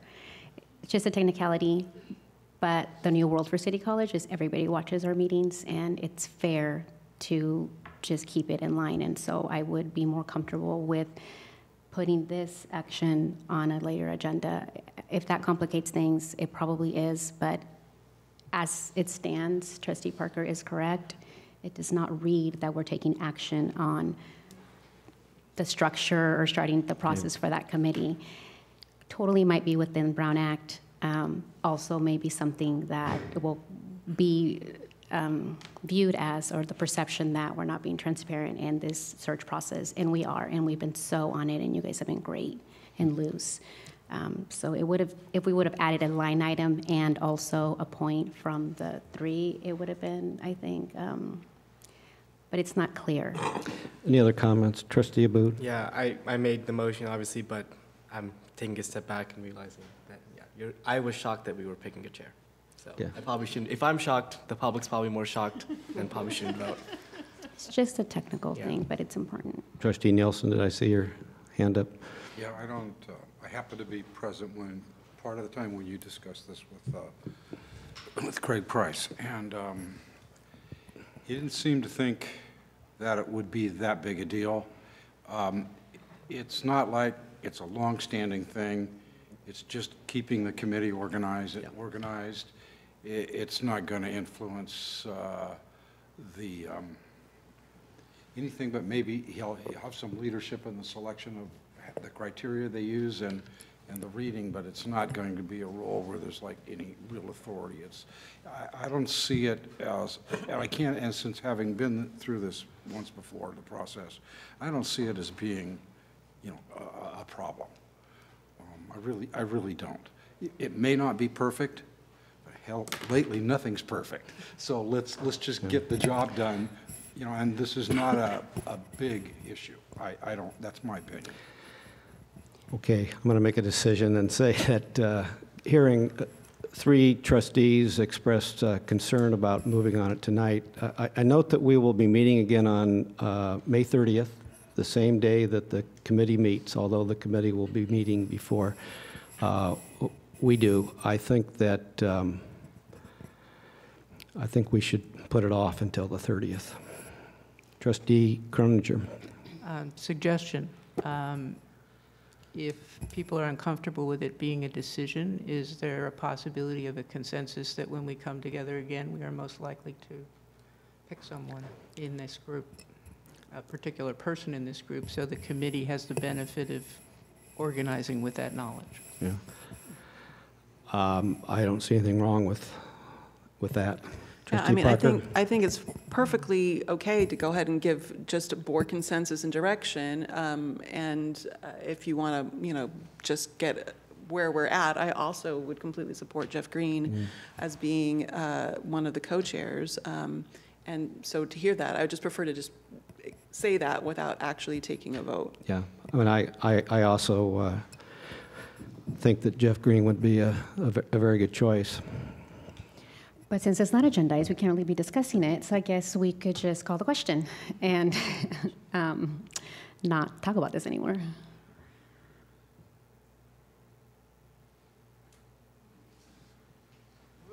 Can you was- say that again, What's your please? intent? Do you want us to vote on this? No, I'm saying that since it's not agendized, then we can't, shouldn't really be talking about it, and let's just call the question and move on, since we've already said. Well, there is, there is a motion, uh, He rescinded it, Jonathan did. But Yeah. somebody else made one. Was it you? Um, Peter there- made it, I seconded Peter, it. there, yeah, so there was a second motion, so I guess the question is, can that be? I, I think my motion was, you know, is there a general consensus about who to select for this process so that we can agendize it at the next meeting? And I, I think what I'm hearing is there We do. is. I think that was my motion. If it wasn't, Isn't it is now. Yes, exactly. All right, I'll second the motion as it now is described. And we don't vote on it, right? Right. Wait, I don't understand I don't what's understand going that on, either. actually. No, so what, what happened was. Yeah, yeah, you I- should I with- withdraw. I withdrew my motion. Okay. uh, At the suggestion of the president, and what, what transpired was obviously a discussion about, about uh, uh, who should be the co-chair, and, and we have general consensus on two things. One is that it should be Je- Jeff Green, but that we will have a formal motion at the next meeting. That sound like we, what we decided? I I think that's a good summary, an accurate yeah. summary of, of whether what we were talking about we were supposed to do or not. Okay. Thank you. Okay, we will move on to the next item. So you have a consensus that it's Jeff Green or not? That's what he said. That we're going Yeah. to put it on the next agenda, and then And we'll you'll put discuss on- it. We'll put it on the next Right. agenda. We'll discuss what, how, when. Um, You had some question before we came back to this, and now I've forgotten it. Oh, he was on the minute. It's on the minutes. too. Oh, thought you had a that's it. correction for the minutes. For the minutes, um, there, wa- just noting a change in the minutes that um, trustee Miller, our president, had appointed both um, Kate Parker and Veronica Gallardo to the foundation committee that's working on the housing survey.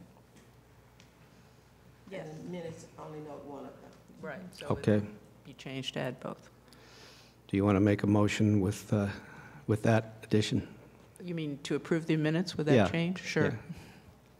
Is there a second? Second. Any discussion? If not, all those in favor? Aye. Aye. Aye.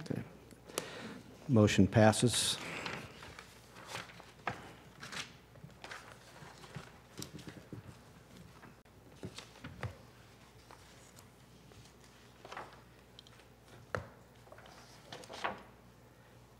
We um, we now move to item 4.1, public comments. And the only public comment we have tonight is one that pertains to item 12.2, so we'll save that till we get there. So we have no other public comments? Well, that would be a first since I've been on the board. Um, So our next, uh, our next item are reports. uh, And our first report would be from Patricia Stark, uh, Academic Senate President.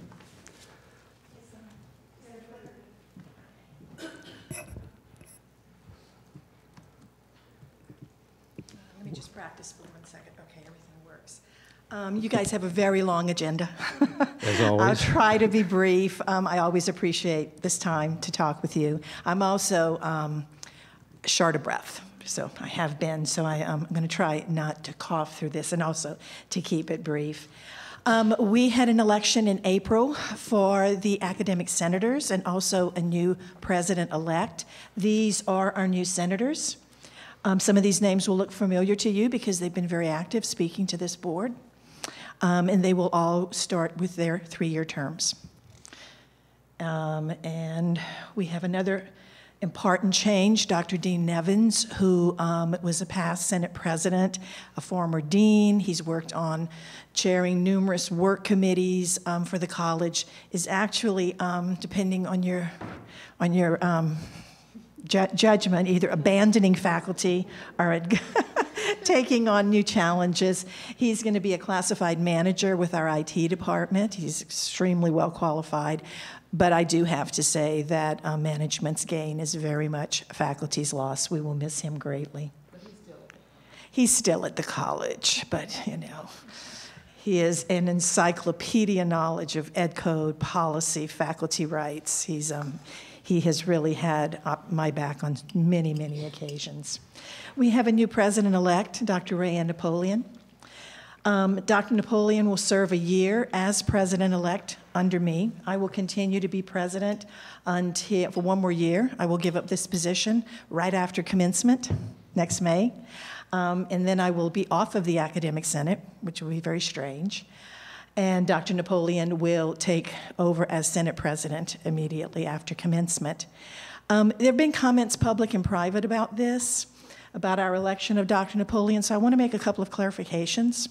One is that the election for the Academic Senate President is very, very carefully codified in both our Constitution and our bylaws. We did extensive advertising, extensive outreach. Um, we had one faculty member who stepped forward for the position, and that one faculty member was Dr. Napoleon. And for that, I think she should be commended. Um, I will take a minute to talk about the job of Academic Senate President. It is, and I have been a professional working for over 35 years, it is the hardest job I have ever had. Um, it's a part-time job, interestingly enough. It's not a full load. One has to teach in addition to everything else. And this is not complaining, this is just fact. Um, 70-hour, 80-hour weeks are not unusual.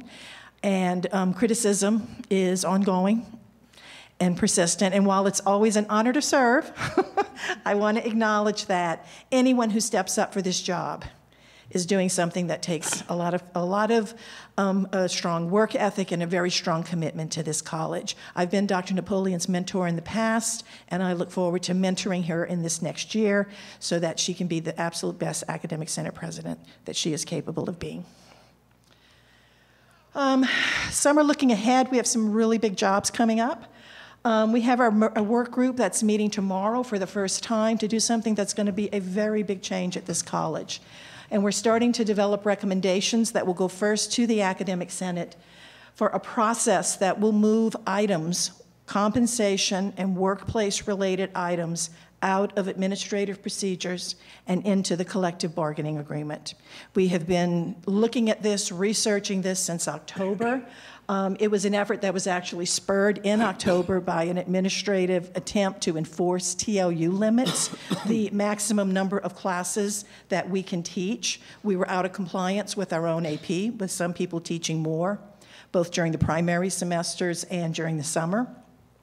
When we started doing the research, and our research has been extensive, um, we discovered that our so-called thin contract um, is very much an outlier among the community colleges in the state, and that many, many items and very important items that now live in our administrative procedures at other colleges live in the collective bargaining agreement. And of course, the reason this matters is that the way that the two um, venues work are very different. Academic procedures are um, somewhat under the purview of the Academic Senate and that the college is required by Ed Code to consult collegially anytime we make changes or create new procedures. Um, the, it's very different with collective bargaining. Those are negotiated, as you know, between the district and the FA. This is going to be a very long and an extremely nuanced and delicate process. Um, and it, it has the potential to be really just one of the biggest changes in the way that we handle things at Santa Barbara City College. Um, and um, we are proceeding cautiously, and I do have to say that both the administration and my colleagues on the FA have been very, very respectful about the Senate's longtime purview of these issues. Um, and I think that's only going to make this process um, easier if, if it is going to be easy, which I don't, I don't think it will be. Our first work group is tomorrow. We hope to have recommendations before the Academic Senate on our July 10th summer meeting. Um, we also are going to be working through our bylaws. My mother, who um, lived all of her life on sugarcane farms, had this expression called sweeping the dirt. Um, and I've, going through our bylaws is very much like that. They're just, they always need changing. It's a big project. We have a cadre of faculty leaders working under Dr. Ralston's leadership, writing the first draft of our accreditation report. Lots of work to be done this summer and a few other big projects. Um, later in the agenda, you'll see a long list of curriculum items that's developed by the Senate's Curriculum Advisory Committee. Um, and we also have another campus-wide group called the Program Evaluation Committee. We're trying to figure out how to bring those two um, entities together in better alignment, which should have um, only result in improved and clarity in all of our processes. Um, we have two meetings. And if Dr. Ralston and I both hadn't been so sick, um, we would have other projects. We've both been just laid, laid out. Um, and I do want to close by just saying that um, we've been through a really special month in May, late April and May. And, um, and while, you know, while I was complaining about my Senate job, one of the things it kind of did is just kind of laid me out with um, an asthma that reeled out of control, and I had to miss a couple of these.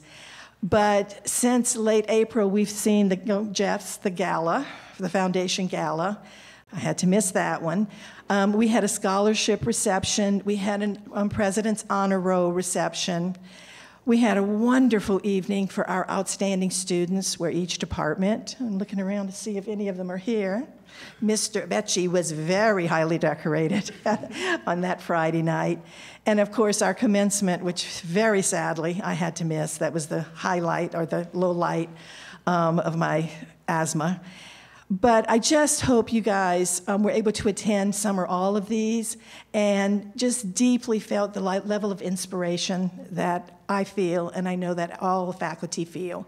We've all had a hard year. It's been hard for everybody. But when you listen to those stories, when you see that success, when you realize that being student centered is not just a phrase or a cliche, but it's just the embedded principle that drives all of us in our work, I think it gives us the strength and the courage and the inspiration to keep doing what we're doing. So, anyway, that's the way we ended our semester. We've got lots of work ahead. Thank you for your service, and that's the end of my report. Thank you for your service and enthusiasm. and I got through without coughing, which is a big plus.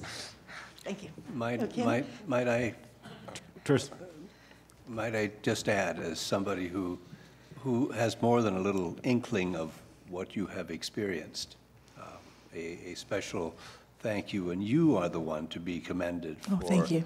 staying the course and, and being the unflappable human being that you are. Thank you so much. But like I said, service is an honor, and I'm very honored to do this work. Yeah, I was, just want to thank you also for your job well done as Academic Senate President. I watch you from the corners and you're just so soft spoken. I feel like you could bring everyone together just by talking, and you did a very good job.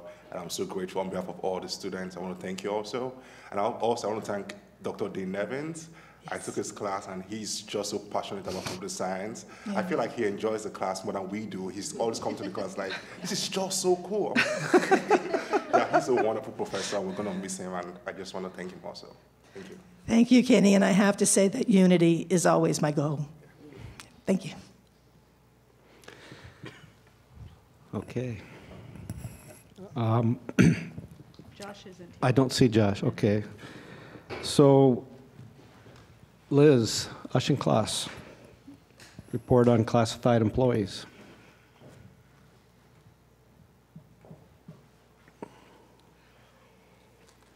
Welcome.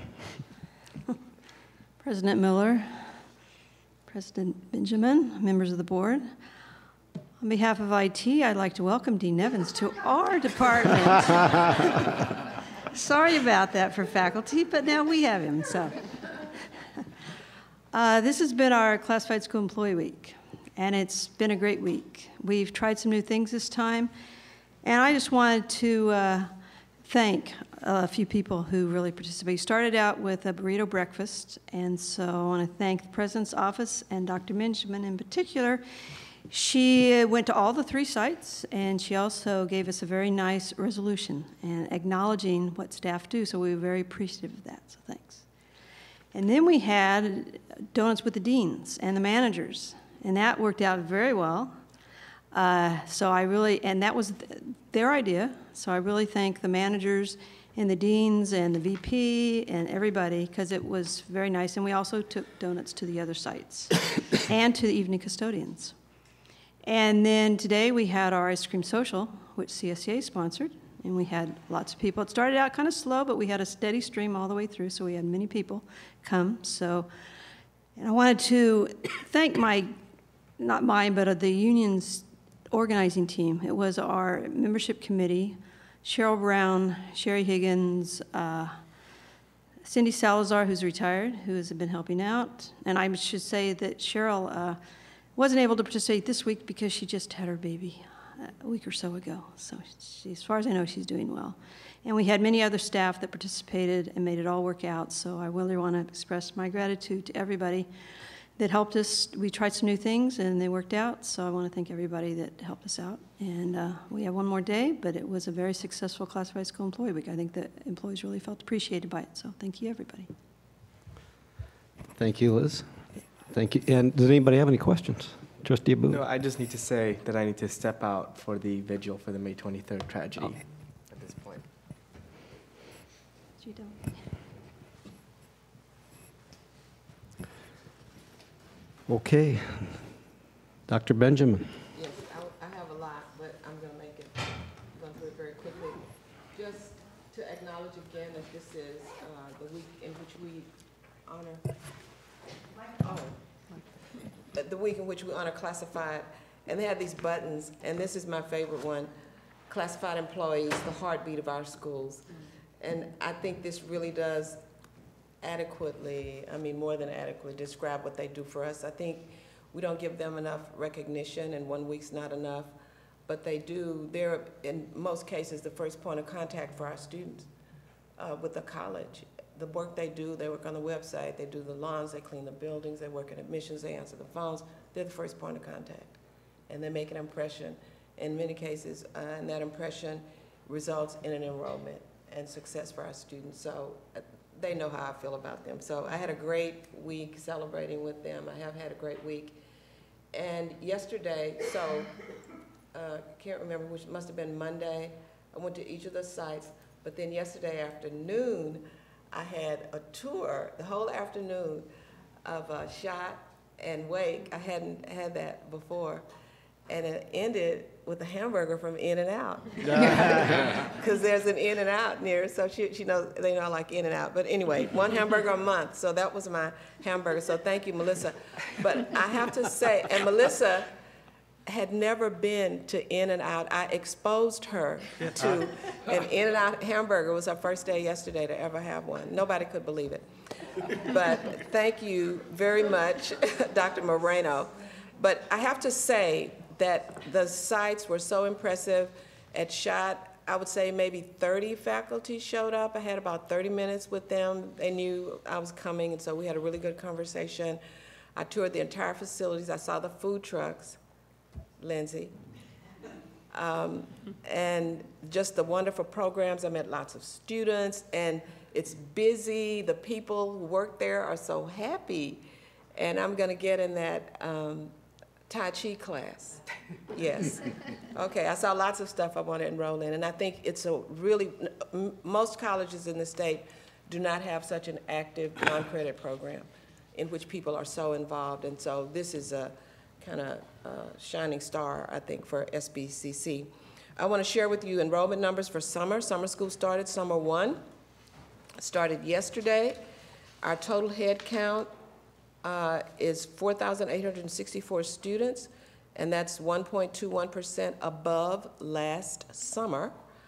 Uh, The units are 5.2% above last summer, and our FTS is 5.68% higher. So it's looking really good. I want to thank all the folks who uh, working summer school, do the planning, and it looks like it's working in our favor to, at this point. I want to, I wanted to acknowledge, I was listening to uh, Dr. Moreno read about Awanda and what she does for cosmetology, and I think that epitomizes what Classified do for us, just her contact with the students, working with the professors, and all of that. So I want to acknowledge her and congratulate her on her achievement. And I want to congratulate Dr. Napoleon, although she's not here tonight. I know what's ahead for her, and I'm looking forward to working with her this, well, this, the rest of this year as the president-elect. And I want to acknowledge the work that Patricia does. She is amazing uh, in what she does as academic senate president. She's steering a ship that is one that's most of the time on rough waters, it appears. But she manages that, and just take care of yourself, Patricia. And then finally, I think, I know the board knows that the survey has been completed, the Equity and Inclusion Survey. We have 578 pages of comments. People took the survey very, very seriously. Uh, 700, I think, and 15 people participated. And so we have lots of work to do in terms of responding to that and sharing the information, but I think it's going to provide a roadmap for what we need to do in many, many, many areas because it covers everything. Because it's equity and inclusion, and people think about that in broad terms. And I'm glad that they did, and, and rather than narrow ones. And that concludes my report. I just want to quickly add that I would like to uh, add my thanks again to Patricia Stark's service uh, as president of the Academic Senate and would also like to congratulate uh, Dr. Napoleon on her selection as uh, president-elect of the Academic Senate. So Can I ask Dr. Benjamin a question? I would, if it would have reported, if I would have known, I would ask you ahead of time, but maybe if you could let us know of the summer enrollment, um, what the breakup is, dual enrollment or continuing students? Okay, when Not- I send you your letter this week, I'll put that, in- I'll get that. Yeah, and I know that that was not in here, so later on. Oh, no, you just tell me what you want, and if it's available, I'll get it. Yeah, no, now that you report it, I'm like, this would be good. And, you know, it's always hearing Patricia talking about TLUs and, and the fact, and I know that a lot of faculty took, like, I know their classes were max to the max. And so please extend that gratitude of things, because there was a lot of happy people, like, my kid got in, or, and, and that was because I think these gentlemen and women are teaching to the max. So, Any, any other questions for Dr. Benjamin? I would just also add that, um, how, how many people showed up at the uh, Schott campus? 70, 70? Faculty? Faculty, About 30 or 40, Yeah. maybe, 30 or 40. and you mentioned they were enthusiastic, and I, I guess I would surmise that one of the reasons they're enthusiastic is because you're our president, and we are so appreciative of the job you're doing. So I just want to say that again. Um, So our next item is the development of the consent agenda. Consent items are 7.1 through 7.4, 8.1 through, uh, and 8.2 9.4 through 9.6, and my understanding is that 9.3 has been removed because it was previously approved. Yes, and And- on seven point one, we need to remove just one of the items. Yes, all right. The classified involuntary resignation comes off for Shane Bandy. Okay. So with that, uh, those two corrections that uh, Dr. Benjamin just mentioned and the removal of 9.3, are there any requests to move any, i- remove any items from the consent agenda? So, just to be sure I understand, are we going basically um, 7.1 through 9.6 with the one item removed, the 9.3? I And one believe so. change. Yes. One change in seven point one. Okay. Yeah. Okay, not seeing any requests for removal, is there a motion to uh, approve the uh, consent agenda? I move to approve item 7.1 with the amended recommendation through item 9.2 and items 9.4 through 9.6. Okay. Second? Second, okay. All those in favor? Aye. Okay. Motion passes.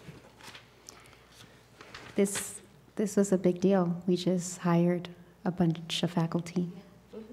Yeah. Thank you for the work, you guys, the committees. These, we brought on a lot of faculty. And I just have to say, we took a very amazing counselor from Santa Barbara High School. And like, our college and our EOPS students are so set. And so, good job. They'll We see al- her again. We also just approved uh, uh, Dean Nevins switching from Uh-huh. faculty to classified. We could, we could put a stop to that if there's some, uh, We should consider that. Liz, Liz might kill us.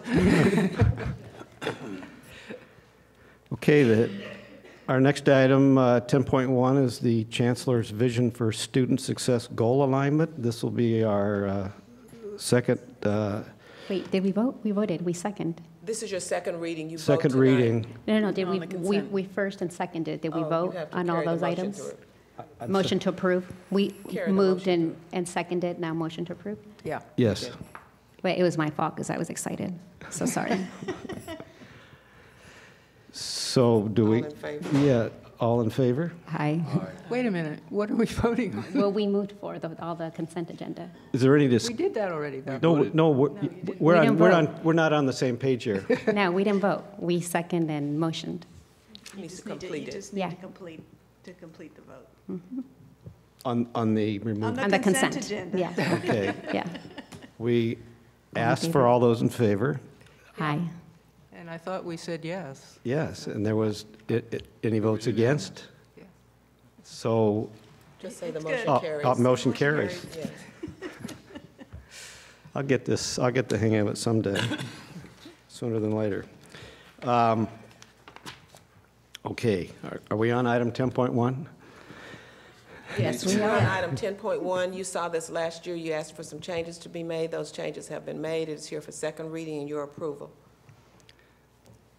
Is there any discussion? But Do you want a motion first and then the discussion? No, I'll- you want the discussion. No, I'll, I'll, I'll move approval, because we, we- that's the process. You, so that we know what it is that we're discussing. You, you have a specific motion. Second that. Okay, now is there discussion? Yeah. Trustee Croninger. Okay. Um, I did ask for changes. I was probably the most, uh, person who asked the most questions about that, and I'm still not understanding this. I do appreciate that we got the list, uh, the full list of the 1As, Bs, Cs, and so forth. I assume, though I don't think it says, that we are the ones who picked which ones to work with, the high, the bold ones. Um, The footnote under the 1C suggests to me the opposite of what I thought we were doing. Um, which is to say, it suggests to me, the way it's written, that we're going to focus on this 1C goal. And when we get that done, then we'll work with all the other students, because it says upon attainment of the target, the district will continue to set aspirational goals for further outcomes for all students. And I, I mean, I hope that's not what we mean. That, because, I'm still feeling like we have picked certain categories of folks, um, some of which are already covered in our student equity plan and some are not. And I don't understand why.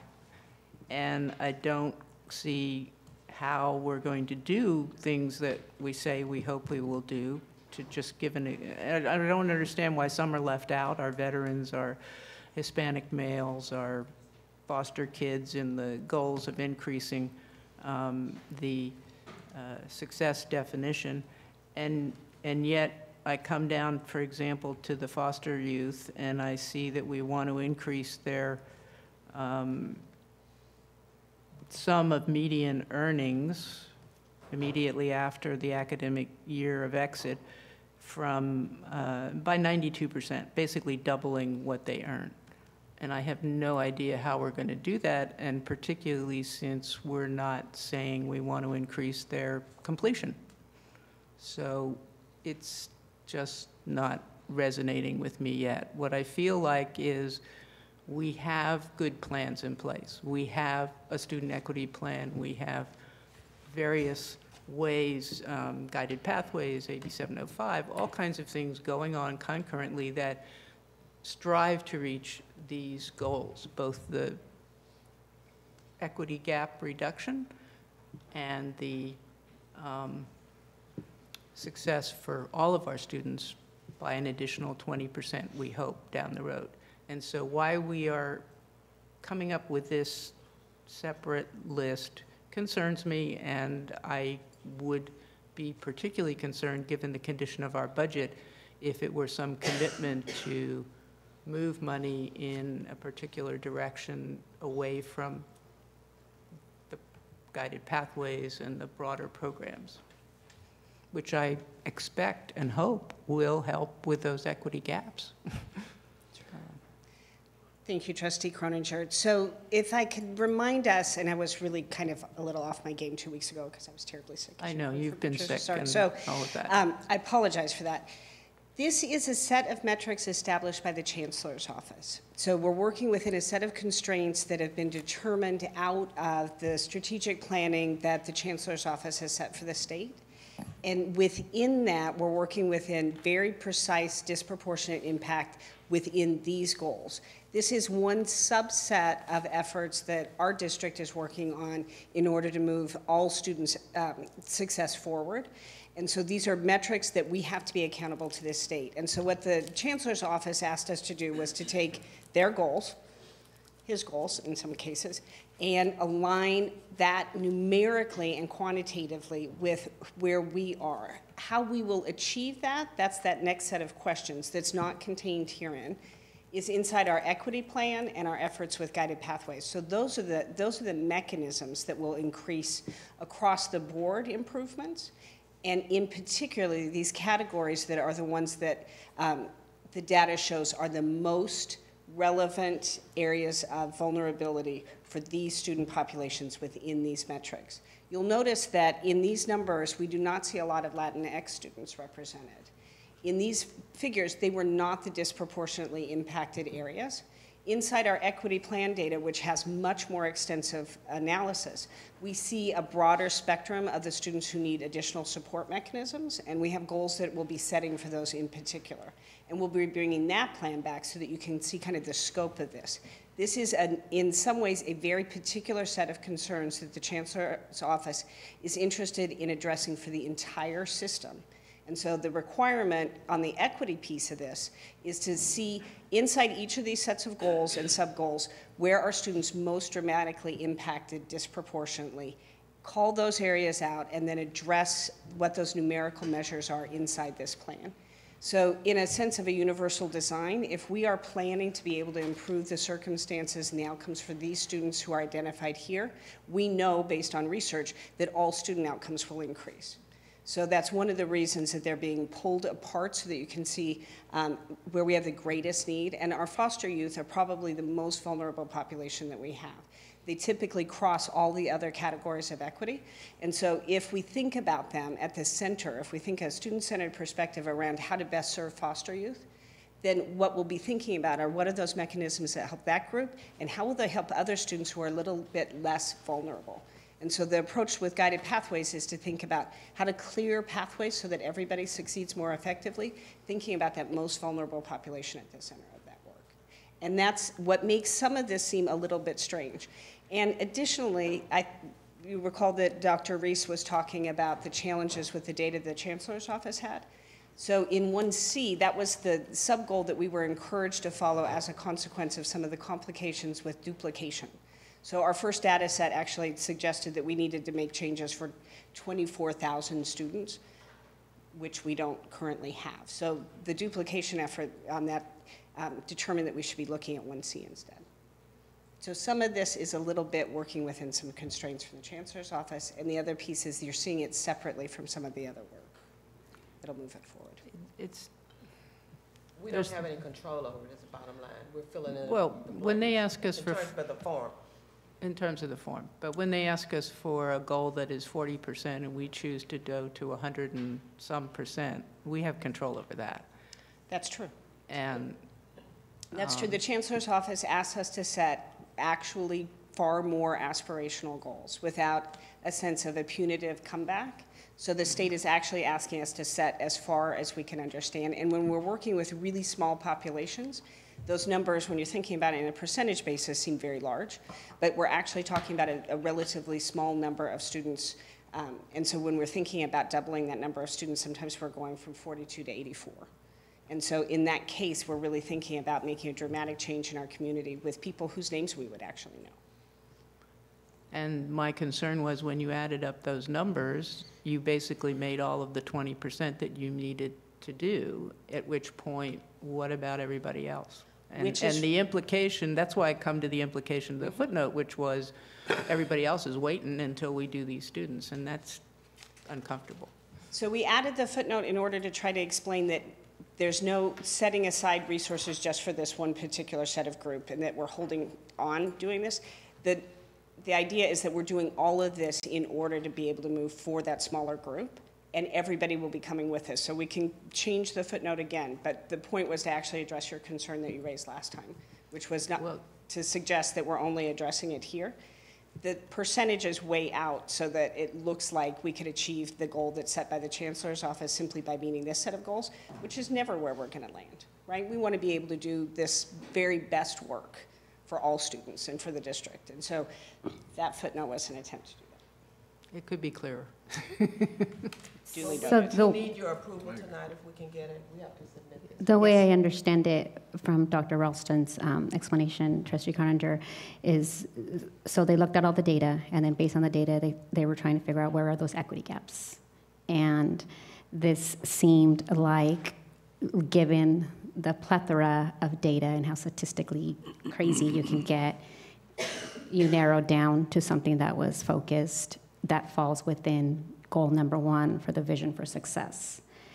Um, and so it's still doing everything we're doing, but when you dig into the data, there were some clear equity gaps that were just very obvious, glaring. Which is true of our student equity plan as well. And so then that's what helped get these to rise to the top as something that we can focus on that can be achievable and so forth. Yeah, okay. But it was the way you had the discussion also, right? And the Right. people around the table Oh. who are, I'm assuming the experts, the Absolutely. ones who have to achieve these goals.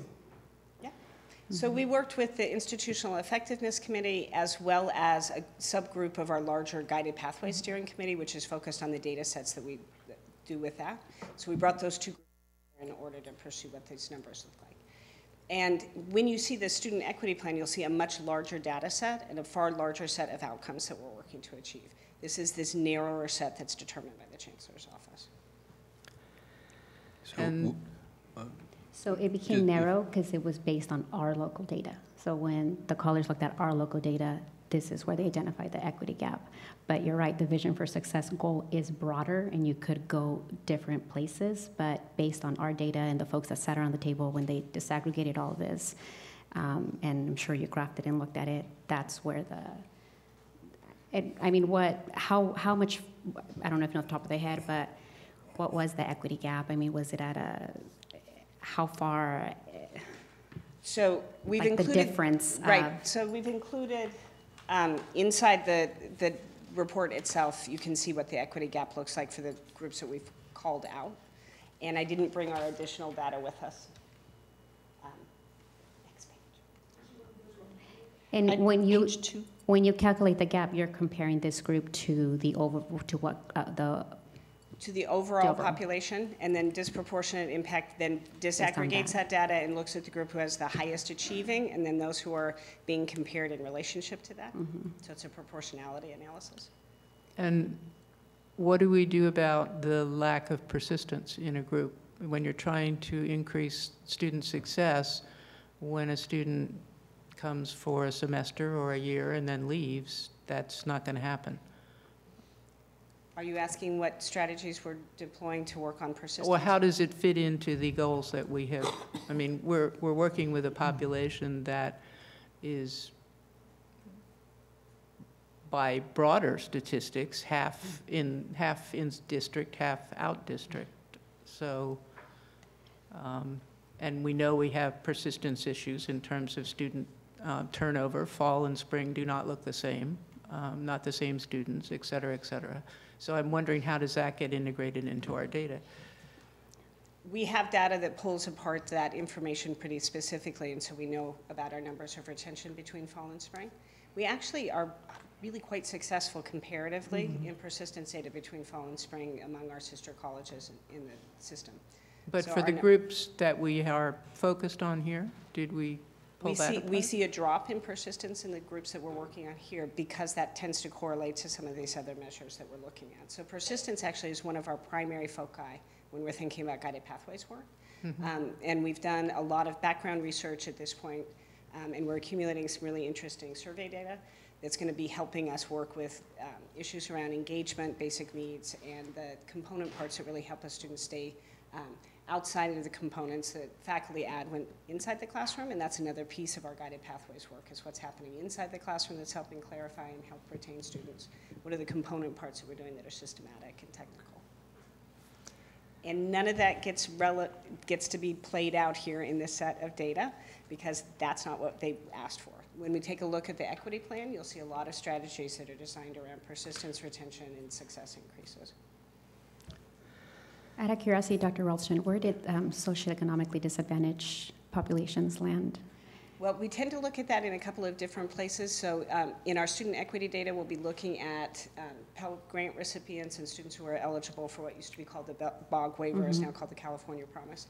So we use data to be able to take a look at how students are faring in that capacity. And I think I even saw some good news today that one of the bills that we've been watching um, that looks at the Cal Grant is moving a little more forward in the legislature. So we're hoping to see some additional uh, support systems that are playing out for that. And just looking at these populations, I'm assuming they're, you know, they're, these students also fall in that, but I was just wondering Oh. if, if that just, if you took that group out, and I, I, trust me, I think that you guys did great here, and looking at data after a while just makes your eyes cry.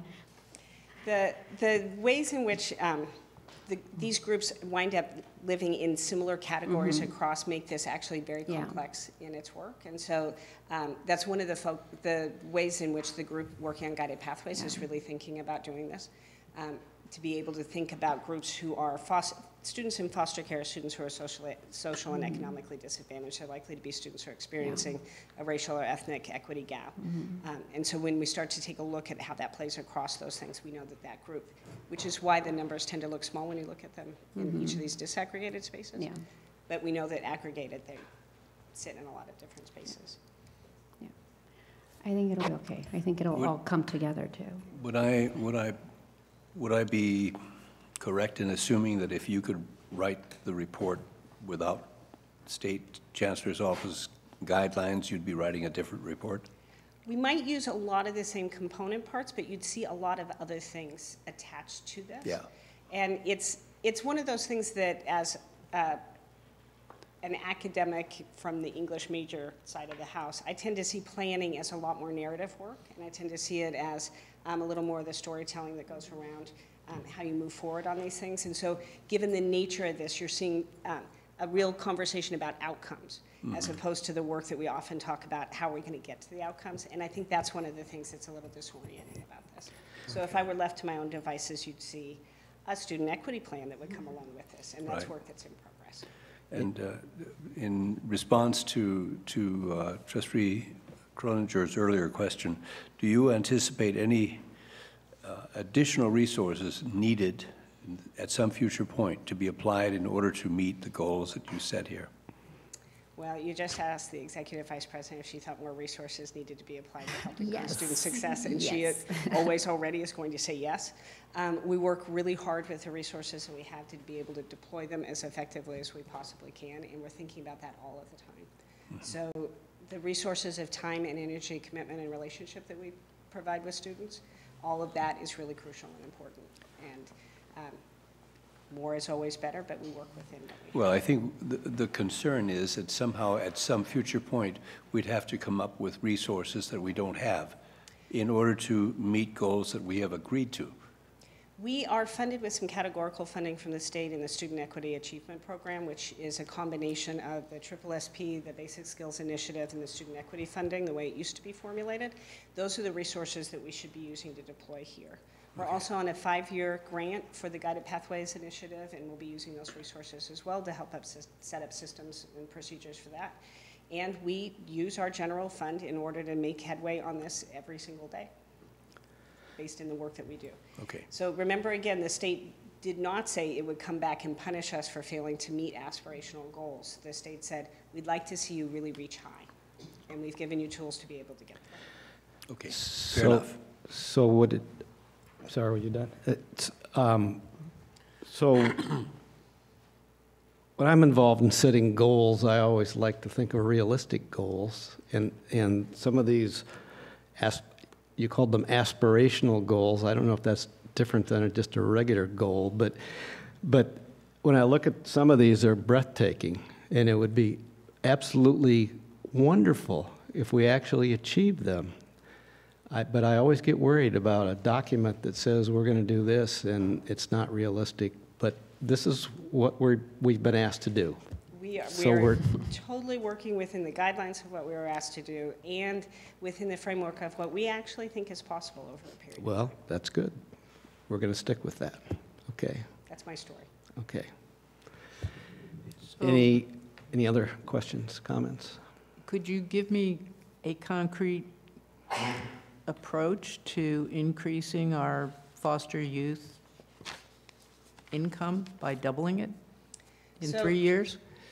One of the concerns, and this is one of the reasons why the Chancellor's Office has asked us to think about this space, is we often have students who come to the institution, spend a period of time here, and then shortly thereafter exit into a community without a degree or certificate, without a transfer goal, who then are trying to find a living and an income. So our work to make sure that students come in with a clear educational plan, a goal that lands in a degree or a certificate, is the work that will create the outcome, which is employability at, when students leave the district. So if we're focusing on working directly with foster youth about how to make those headway moments in student educational planning and career planning, our goal is to really be working early with students, all students, about what it means to be working in the Career Center, what it means to be making um, headway on that planning process.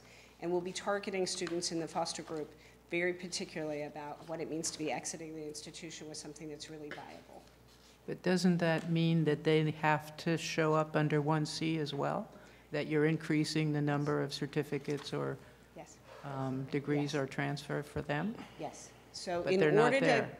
in order to accomplish many of these goals, what we'll be working on is making certain that students are well enrolled, guided, counseled early on, that they have a student educational plan, and the course-taking behavior is designed to lead to certificates and degrees and transfer behavior, which is the other piece of this metric is the student-centered funding formula. So the chancellor's office has said, We want you to understand what the primary goals are, and we'll be paying you your apportionment accordingly.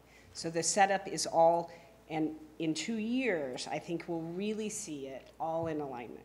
And this is kind of a bumpy first step to the work that they're doing to be able to put all of these pieces back together. Yeah, And so, yes, people will cross, o- these goals and aspirations that we have, we could pick one student who might fit across all of these in order for us to be able to move forward. Yeah, no, I'm, I'm not, I, I think a big piece of this is that what the Chancellor's Office is asking for is kind of standalone in a strange way, rather than integrated.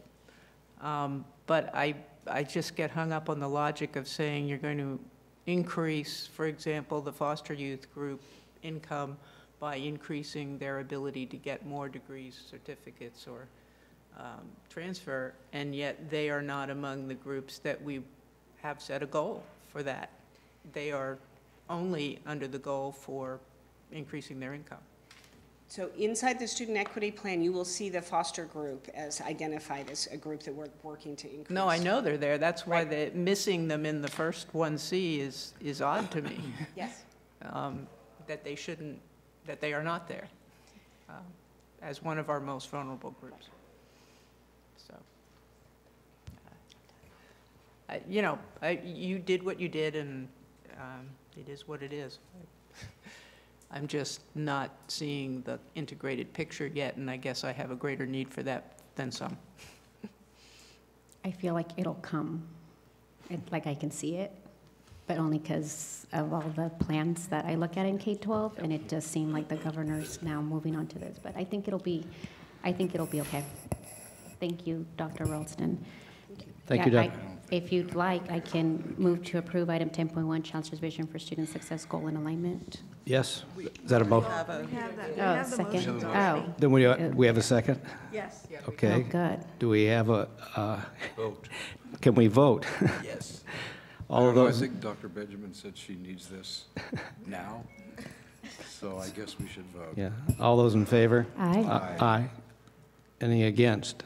Um, Aye. So the uh, motion passes with one no vote. Thank you. Okay. We'll move to item 11.1, adjustments to the budget. Is there anybody who, On this Dr. Benjamin? item, Lindsay, you want to speak to, these are, if you have any questions, we'll entertain them. I think it was fairly self-explanatory, unless you have questions. Move approval? Is there a second? Any discussion? I have a question. Um, The print is too small. It is very small, it's very, very teeny difficult to read. Um, Slightly bigger here. Adjust revenue and expenditure budgets to match actual revenue for Guided Pathways grant is the big item, um, minus $342,000. Is there any further comment on that one? I don't know, Lindsay, Lindsay, do you know? I don't, and. I bet, do you know? Not off the top of my head, sorry. I can definitely, we can bring that one back next month. Um, But yeah, I don't, uh, I, I don't know what we were doing on the top of my, off the top of my head. Um, That, those type of, adjust- you want me to just come up with that? Nobody can hear you on the record. Marsha, what, what line are you looking at? It's the page one, and it's on the, um, if you go down, it's really the first big red one on the left. That'd be page two, right? Okay, so, Well, I'm not looking, I'm looking at the list, which is page two, I guess. Um, But there's, How's it go down? It's $342,000, and it's an, it's a negative. yeah, so with um, all of these down here in our restricted general fund, those are typically um, monies that we need to balance out every year. Um, I, I can speculate that the guided pathways, the, as we've gotten closer to the end of the year, we've said that this is what we're going to be spending and that we're moving that, that adjustment so that it match, the revenue matches our expenditures.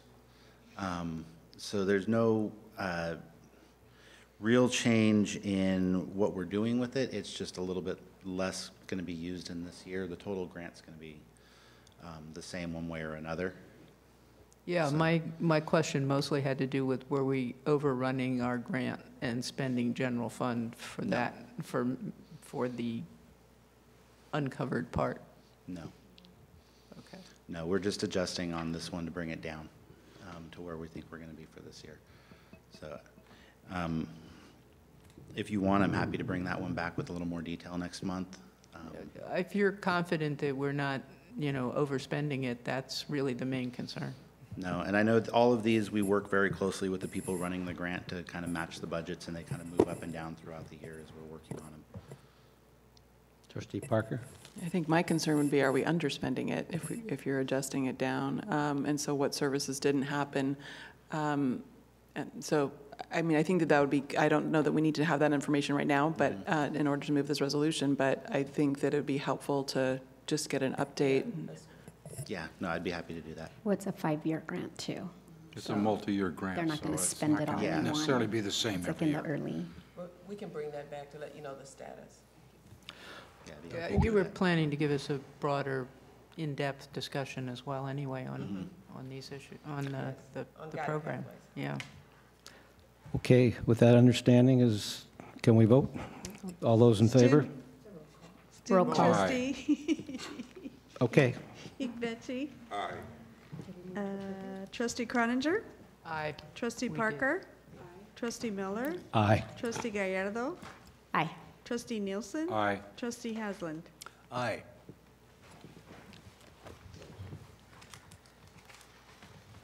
Okay, we move to uh, item 12.2, which is um, a- approval of the specified rights and res- responsibilities of the student trustee, which is in, 12.1, superintendent president search. I'm sorry. The other thing. Oh my gosh, sorry. Because I thought you said you had a public comment. That's why I was like, nobody spoke. There's public comment on 12.2. 12.2. He's on the right track. I know, I need to go get my dinner. So this, this is something that we, we, this is something that we do every year, we're required to do, and so that's what's before us tonight. But before we uh, get into more discussion about it, we have a uh, speaker slip from Daniel Wallace, who would like to uh, comment on this item. Come on down.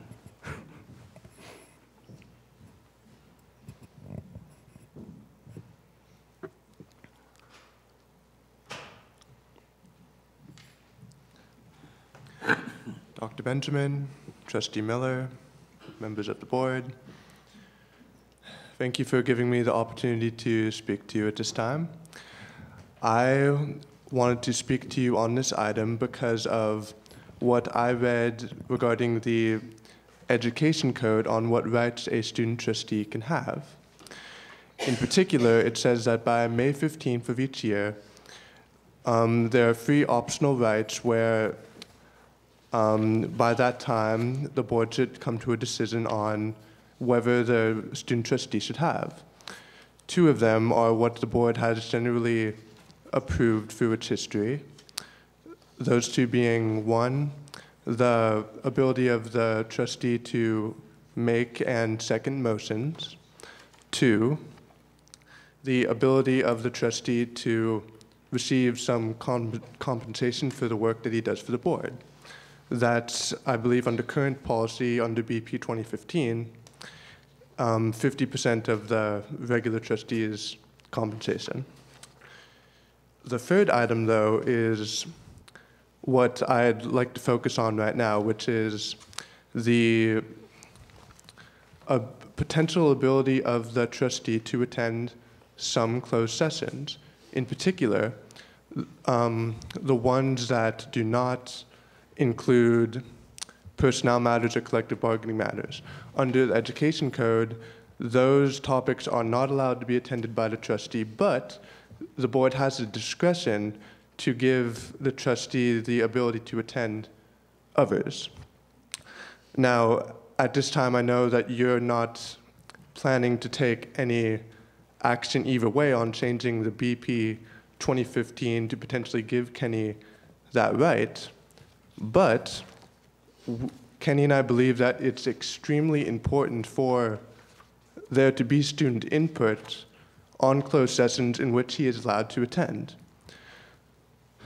And so, what I'd ask of the board is that you consider giving Kenny the ability at a future meeting to attend closed sessions by having the board vote on a case by case basis before a closed session meeting on whether the trustee should be allowed to attend that particular meeting.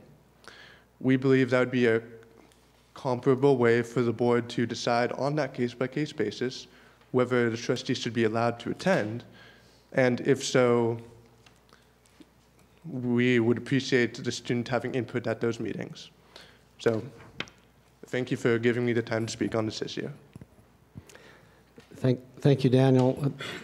Let me have you hold on a second, because um, I think I read BP 2015 slightly different. Um, I think you mentioned, if I heard, heard you say it, uh, Okay. if I heard correctly, that the board has also already allowed, under the ed code, they, they've already allowed the student trustee to make motions and second motions. Yes. And I don't read our current policy to be that. I read. Oh, yes, I'm sorry. I'm saying Yeah. that um, I thought in the past you had, but I think under the current board policy, yeah, I don't think that's allowed. So, so what we, out of the three optional items that Yes. we can, uh, or rights that we can grant, we, we do provide compensation, but we don't allow uh, student trustee to attend closed sessions, and we don't allow the student trustee to make and second motions. That's correct. So- That's my mistake. So those are the two, two items, though, that you're interested in changing? Yes. Okay, thank you. Thank you. Are there any other questions? Hmm? Yeah, I, say again, you guys get, a student trustee gets one half of what we get for I- serving on the board? I believe Is so. Can anyone confirm Yes. that? That's like Yes. nothing. I If you'd think like to they should get increase at least what we get, if probably more. I guess half They of- need it. Half of You know, nothing more than would we be do. nothing. They they need it, so. If you would I- I- consider I think if we're going to do changes, I think that's where we should start. Okay, we On would the- appreciate that. On the other items, the other two points that you brought up, I appreciate them, and, and uh, give it some serious thought. The first thing I will look at Mm-hmm. is why was it written? Why was the original policy written the way it was? Okay. And what was the reasoning behind that? Okay. And I want to make really sure I understand that. Okay. Before I would be in favor of making changes. Okay. Okay. That, but um, I heard you, thank you. You're welcome. And one more thing I'd recommend to make clear in the board policy as it's considered by the board is that you make clear that those three privileges will be expired and effective by May 15th of each year, as the education code says. Okay. You you see, you will note that it's really easy to advocate, to advocate spending other people's money, like to raise the, the salary here Sure. for student trustees, I think, um, is really easy to advocate that. It's not my personal money, it's taxpayers' money. So, okay, thank you, Daniel. Okay, thank you. So our, our task tonight really is just to um, affirm our policy BT, BP 2015. Uh, We don't have on the agenda uh, amendments to 2015, and that, as we know, as a board policy, there's a whole process that we have to go through. So um, I'm inviting uh, those items can be agendized for future meetings. We don't have There- to. There's a, a process. There's a You have to have process. a board policy, and we went over it with uh, Daniel yesterday, Angie and I did, mostly Angie. So he knows the process that Yeah. needs to be followed if he wants Right. to do that. But I think tonight he's making you aware. Yes, yes, But this is just an affirmation that you have to do annually according to Ed Code. right. So there's two separate things here. We're going to uh, hopefully just approve, uh, as we're required to do every year, uh, actually by May 15th, we're a couple days late, to affirm uh, BP 2015. As to the issues that uh, Daniel raised, there's a process we have to go through, and we can't begin that tonight. Trustee Haslund. So if I interpret what you just said correctly, that would mean that the first bullet point on the the posted agenda should be removed. Is that correct? Because the first bullet says make and second motions, which is not in the current BP. these rights and responsibilities, those are all the ones he or she possibly has. Those, that's what you have to choose from. Those are the rights and privileges you can grant. Right. This is not saying that we, that this district grants these. It shouldn't say that anyway. Oh, Well, may- these are- maybe I'm, These are the ones that have been granted in the past. to the student trustees are, uh, uh, The and, college has. It's, that's not what your policy says. Yeah, I know. are- yeah, It doesn't say that. Mm-hmm. Well, the first one, um, We um, looked at it closely yeah. this morning, the actual policy. right, make and second motions is not, It's not one of them. not one of them. So we would, We can, to be consistent what our policy is, we'd have to just delete the first bullet point. right. that's what I, I just want Yeah. to be clear. I'm not stating a Yep. support, al- although frankly, I don't see any reason why we would not allow a student to make and second a motion. I think that's perfectly reasonable. But that's for, an- that's for a later discussion, though. Yeah. But we need to discuss that because there are instances where it might not be. There's reasons why Sure, it's not. sure, sure. But, and the confusing point is, it's sitting in front of us. Yeah. As an agendized line item. Well, I think, I thought we could just raise his pay with, you know, and put that in there. We can't do that now either. That's a policy. Trustee Croninger, It require policy See, change. I'm sorry, I tried. We're looking at the policy. yep, Looking at the policy here, there is an express prohibition of attending closed sessions, which is one of the issues that Daniel was talking about, really the main issue.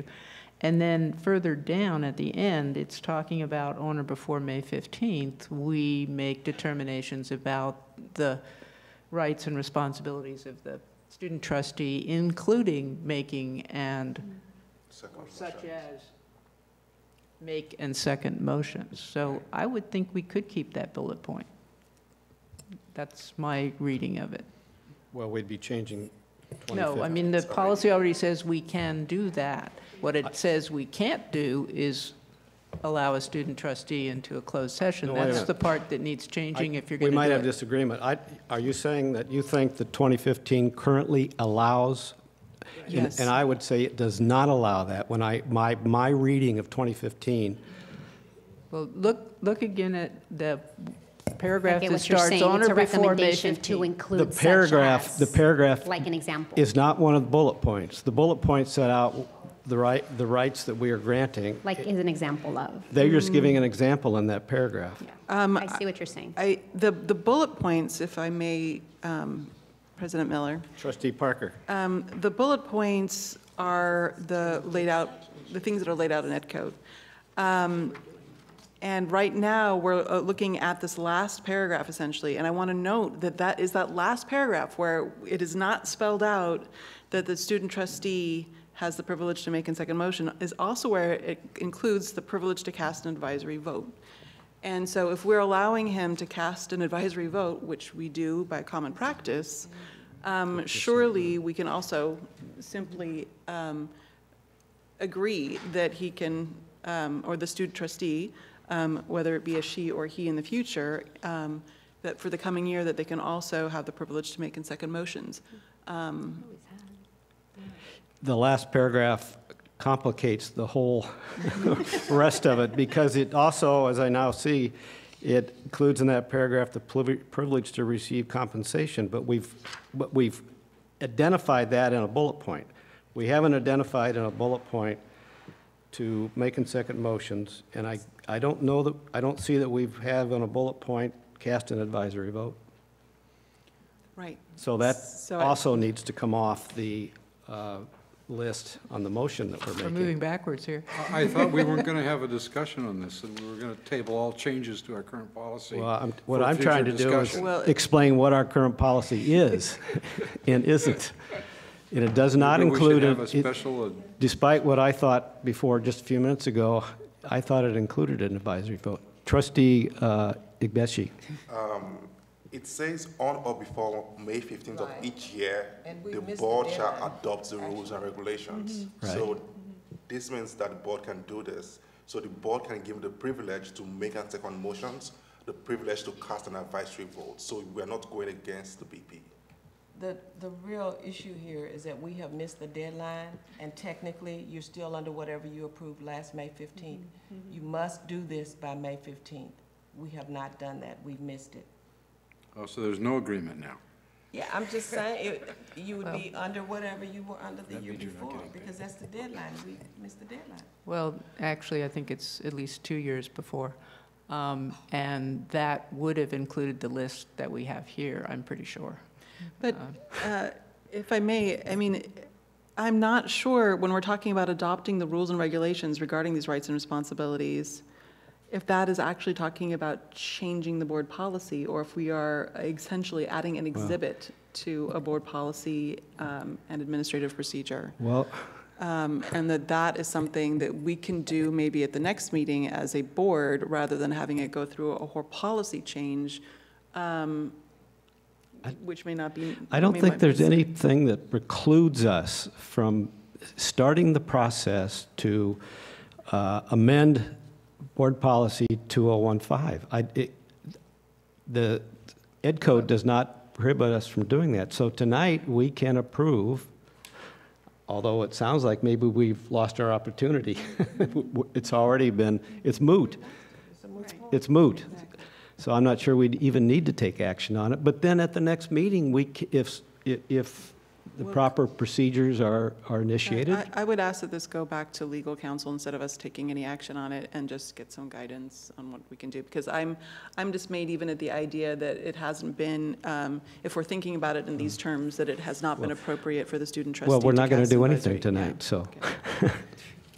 I think we've just concluded I that, think, I think we may have agreed that the policy is less clear and needs clarification, but, but I had always read it that on or before May 15th, we were supposed to specifically say, here are the things What that are the the student things- Yeah. trustee mm-hmm. can Allow him do for do the that next year. year. That's right. And the allowable Yeah. ones were all the ones listed as It- examples or listed And- as things it can do, but the one that says, no, you can't, which is closed session, was the Yeah. only one that was really problematic. and if we were going to do that, we would have had to have started months ago to, Right. assuming To that this, change the closed session one, but No, no, no. not the others, I think. well, That's where I yeah, am. not the others, yeah.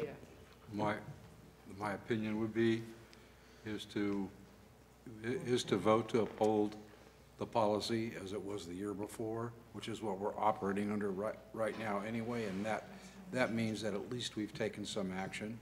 And uh, if we need to, we could probably make a note that uh, it's retroactive to May 15th. Harmed. So that we're on the same schedule next year.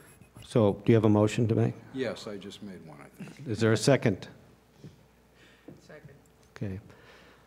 Any other discussion? If not, Just that, again, I, I really, my, my main concern is that if we're, with your interpretation of it, that at this point, the student trustee is not allowed to do an advisory vote.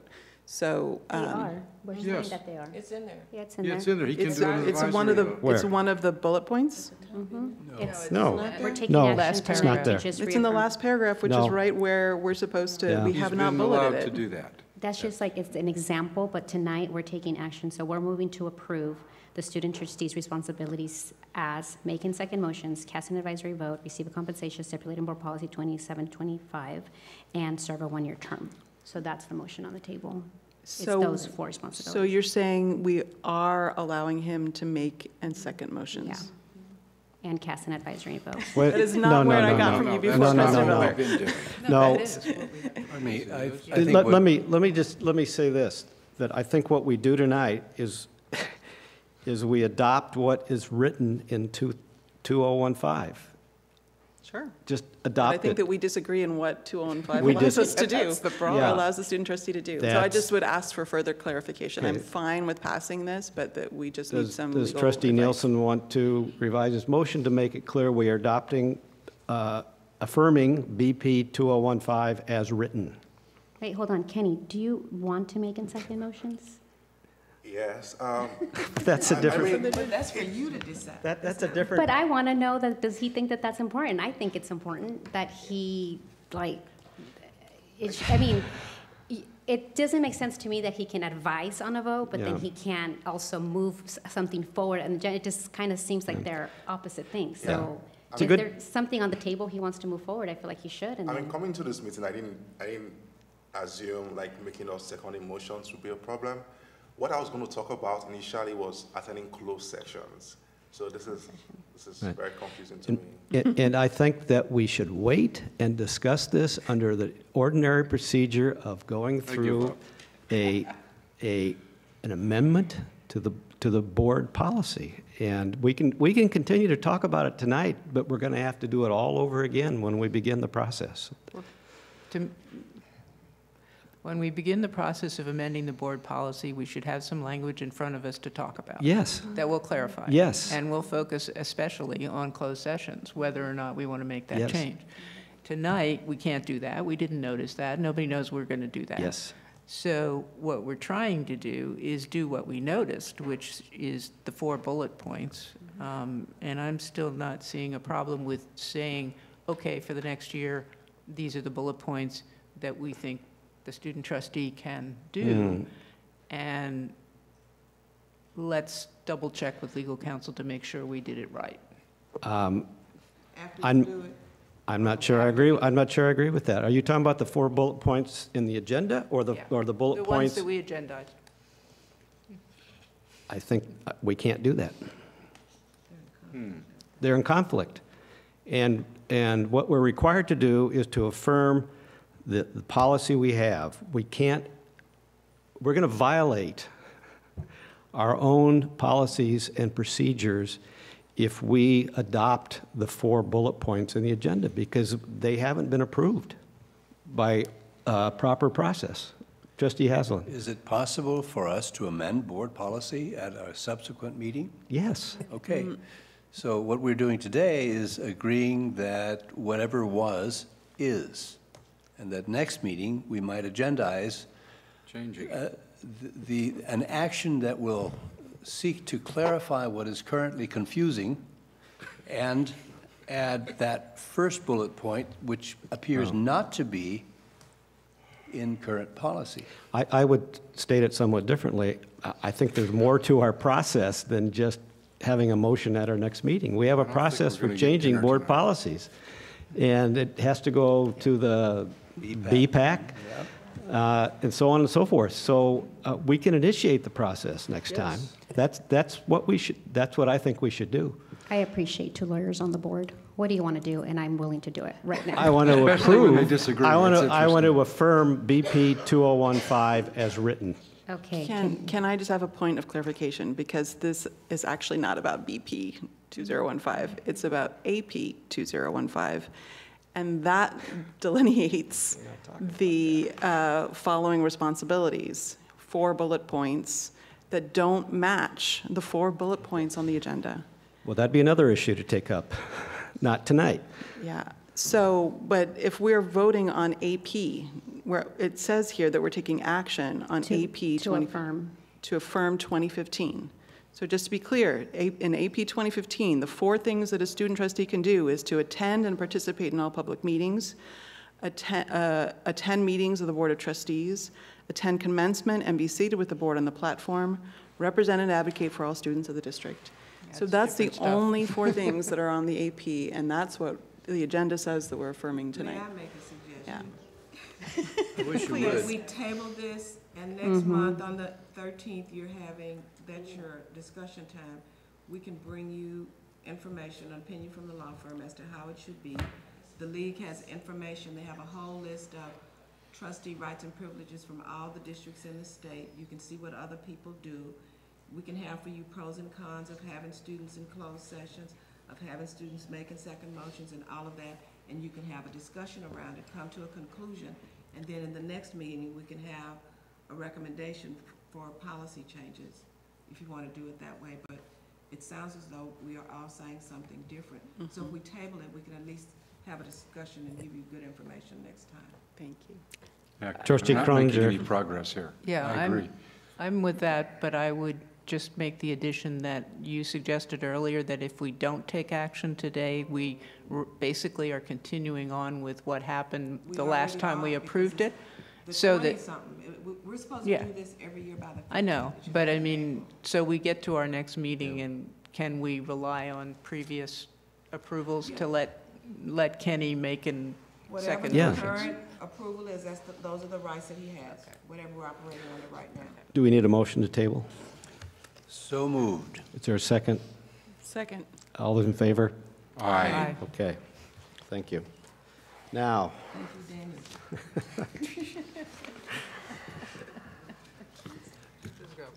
I gotta go back to my, uh, my agenda. Okay, um, we have a few items left, but I, I need to do something before I forget it, and that is to thank Luz for helping us stay on track this, tonight. We got it done early, right? Yeah, yeah, great job, thank you. That part. We made up for it later. Okay, next item is the board uh, self-evaluation instrument for 2018 and 2019. And this is an item where we have to complete our board self-evaluation by the end of June. Uh, We're suggesting that we complete that by June 14th, when we have our board retreat, which means that we need to, uh, we need to get out the, the survey uh, pretty quickly so that people have time to respond and fill it out. So what I'm recommending is that we stick with the same form that we used last year. And we, we go forward with the idea we'll have the results. I, I guess we should say that the, we probably need a different date for completion because we have to have a day or two to assemble the information for our uh, board retreat.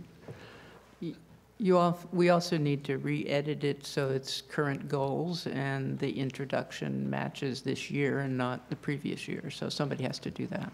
Um, Would you be opposed to staff doing that for you and running it by? As long That's as what it comes happened the out, previous time, yeah. yes. Um, You know, somebody needs to double check, but that we're all on the same page, but yeah. Would you be willing to double check? I know you're, you're good at that. I did that the other time when I was president. Well, that's even another reason for you to. I can Um, check it. If you, Yeah. I can check it. Okay. Okay. Thanks, Veronica. The other thing I would just say is I would at least really like to encourage people to make comments, because when you just get a numerical number of, particularly if it denotes dissatisfaction, nobody knows what you might be dissatisfied about. It, there's a wide range of possibilities, so. The other thing I'd like to propose to you is, we, Angie and I started working on this already. You have some annual goals, and um, what I would like to do is have you, we're, we're putting in all the progress you made on those annual goals as far as we can tell. We'll let you look at them and add, you'll have to add your own professional development because we don't know what individuals did, but to have you rate yourself on those as well whether you achieve those or not. And then that's, that'll be a starting point for making your goals. You may want to continue those, you may want to add some new ones to check your progress. Is that okay? I think it's awesome that you're willing to offer all this extra help to us. Well, I think it's great. No, only if you want it.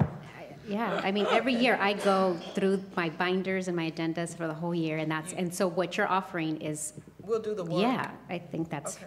um, thank you, whoever's And doing We'll work with you. With me? Okay, great. Okay. Yeah, summer vacation, eight days. Thank you, Veronica.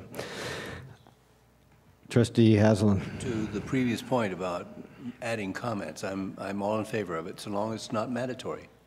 I mean, I think the, the, the requirement that something be put in tho- those little boxes doesn't work, because you, you sort of, you may not have a comment, and you, you may just make it up as you go. I mean, I'm not sure what the value of that would be.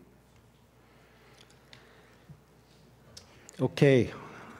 Um, We can had that debate last year and the year before as well, as I recall vividly. It, it's an Yep. ongoing debate. Okay, we're It's moving on gonna item Way to keep 13.1. it up. Item 13.1, uh, City Bar, Santa Barbara and Historic Landmarks Commission proposed structure of merit designation for Schott Campus. This is a uh, informational item.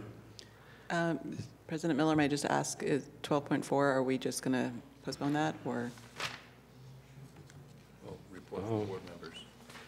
It was so far down here on my uh, page that I missed it. 12.4, report from the uh, trustees. Do you want to start? Sure. I just wanted to be sure that the uh, other trustees knew that trustee Gallardo and I did attend the first Housing uh, Survey Committee meeting, um, where uh, Geoff Green ably led us through some of the um, uh, concepts that the foundation is grappling with. Um, And uh, one of the things that came up was um, that there's another um, uh, uh, part of the foundation and the school that are considering looking at um, food insecurity. And, and the rest of the committee was uh, definitely um, agreeing that it was a good idea to include that as part of the housing survey that the foundation is doing. So I don't know if there's anything you wanted to add to that, Monica. Yeah, the consensus was that it works in tandem, and then really what we requested from Geoff was that before the survey go out, that come to the board, um, so that we can make sure it captures what it is that we've been hearing that we need to capture. And so unless you guys think otherwise, that's the recommendation we left with Geoff. Is there any sense of timeline on when that might happen? Well, they're, they're pretty ambitious and really want to get this off to the ground, because it's a fall, survey is a fall Yeah, yeah. survey. Okay, excellent. Mhm. Trustee Gallardo, do you have anything additional to report? No, just, Okay. yeah. Trustee Croninger? Trustee Nielsen? No. Trustee Abeshi? Trustee Haslund? Working with veterans groups and uh, brought one of those groups onto campus for the purpose of exploring the use of our facilities for a veterans-related event. Kyle Rasmussen, our, our uh, Vet Center Director, uh, was very kind and supportive in helping us understand what was going on and what, what we might need and so forth. And uh, it's, that probably is not going to work this time, but there will be other opportunities for us to be supportive of the veterans community. I I guess I will report that I've had an indirect inquiry from the uh, general manager of the Bacara uh, Resort in Goleta, and uh, I haven't connected with him yet, but his, the interest he's expressed, which, uh, first part of it I know we can't do, he's wondering if we would, uh, if we're interested in starting a BA program for hotel uh, management.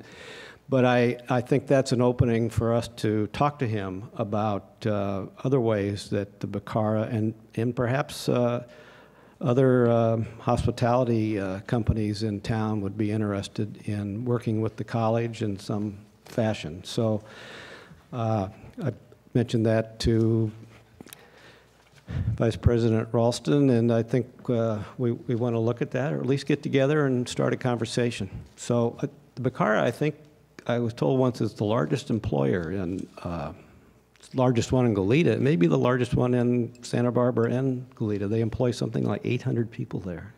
Um, so um, I think it's an opportunity for us. I would suggest we're going to be looking at the tentative budget, item 13.2, that we take a five-minute break so that those of us with small bladders can uh, have some sense of relief. Concurred. Is that all right?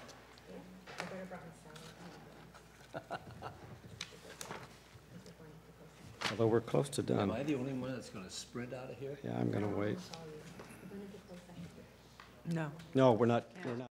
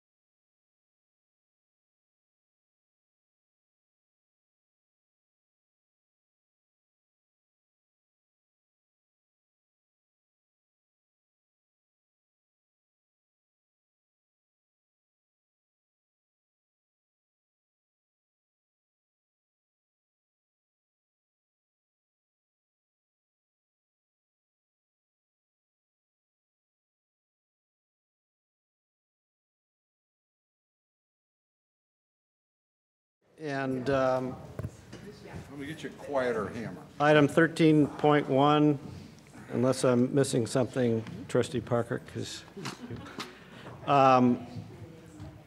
is somebody, do we have somebody who's going to report? It's just information. Just It's if- information that they're okay. having this hearing on June the twenty-sixth, and I guess maybe you should decide if any of you will be present, or, I mean, you'll probably, well, one of us will go. Trustee Parker, do you plan to attend? Um, I'm, if, if it's on June 26th, I actually would probably be able to go, and I'd be happy to go. Excellent. Um, The question I had is, um, so community colleges are not subject to uh, local planning codes, including historic landmarks. And so I'm, I'm wondering if this is simply uh, an honorific, um, and be- because, you know, I, I would obviously want us to do a lot more study about it if it meant that there were, um, You say that community colleges are not, according to what law? The federal law? no, state law. They're State- part, they're part of the, you know, they are subject to the DSA. And I'm just um, wondering if this is the city's own. Exactly. So, historic- this Um, so yeah. community colleges, school districts are not subject to local planning codes, including historic landmarks. But, you know, it- it's obviously n- nice, especially for historic landmarks, to work with your city. Um, And I think it's wonderful that they want to Right. propose this. Um, I would want to study it more if it actually meant that there might be critical repairs that we could not do, but because we're not subject to local planning codes, um, I, I don't think that there would ever be an issue. Um, But I don't know if anybody wants to comment on that. Craig does. I do. Uh, A little history, uh, just a few years ago, um, Lori Gaskin was president, and they said, oh, the windows at the Schott center are shot and we need to replace. Keep the story very short, so maybe not perfectly accurate, but they did. The proposal was just replace the windows with new, modern, double glazed and all the stuff. And I think somebody whispered in her ear that, um, I'm sorry, but this is Santa Barbara. And this school, you know, is old, and it's a nice building, and we don't do those things here. So, um, what, what ended up is we paid a little bit more, but we had the old original windows restored. Um, And it's, it- and it was done really in the spirit of, let's all, let's get along and share some common goals. And so that's where it kind of is right now. And it maybe, maybe there was something formal done, I'm not remembering that exactly. But um, it- this is, this is definitely not someplace else. This is Santa Barbara, and it's not likely that people would like it if we uh, totally remodeled that building or Yeah, tore I- it I down or com- something. I completely agree. I completely agree. Your concern is whether there's anything in the Santa Barbara code which would prevent us from doing something that we want. Or actually, my biggest concern would be that, I I mean, I, I I know that it's, it's, um, uh, and I just don't think it's something that we need to worry about. Be- Well, I know that we don't need to worry about it because we're not subject to local Yeah. planning codes. And that would be if we needed to do a repair and we then had to go through, it, it was delayed due to a process, a local process, um, that as local homeowners know, Yeah, it it goes could take on a really long time. Um, But I, you know, I, that, it wouldn't be an issue, and so I, I look at this as just kind of a positive. Yeah. Uh, So, Well, I think to your point, we should find out if it could be an issue. I don't, I mean, Dr. Benjamin, correct me if I'm wrong, but, We can check. Yeah. From what I read, it doesn't appear that it's, that they think it's actually could be a benefit to us. Yeah. I did have one, one silly question. It's like there's tax benefits, but I don't think that we have to pay those taxes anyway. So while that tax stuff was in there, the benefits of not having to pay, uh, paying a reduced property tax rate, you know, why that's in there in our case, I'm not sure. Yeah, So it's sort of canned verbiage. Yeah, But the point is, we're, we're kind of guessing at it, and what, uh, what Dr. Benjamin is suggesting is that we get a legal response to Yeah. the simple question of, are there implications to this? Yep. Okay. Can we move on to the last item? 13.2, uh, information item on the draft tentative budget, unrestricted general fund revenue and expenditures. James, are you going to talk to us on that?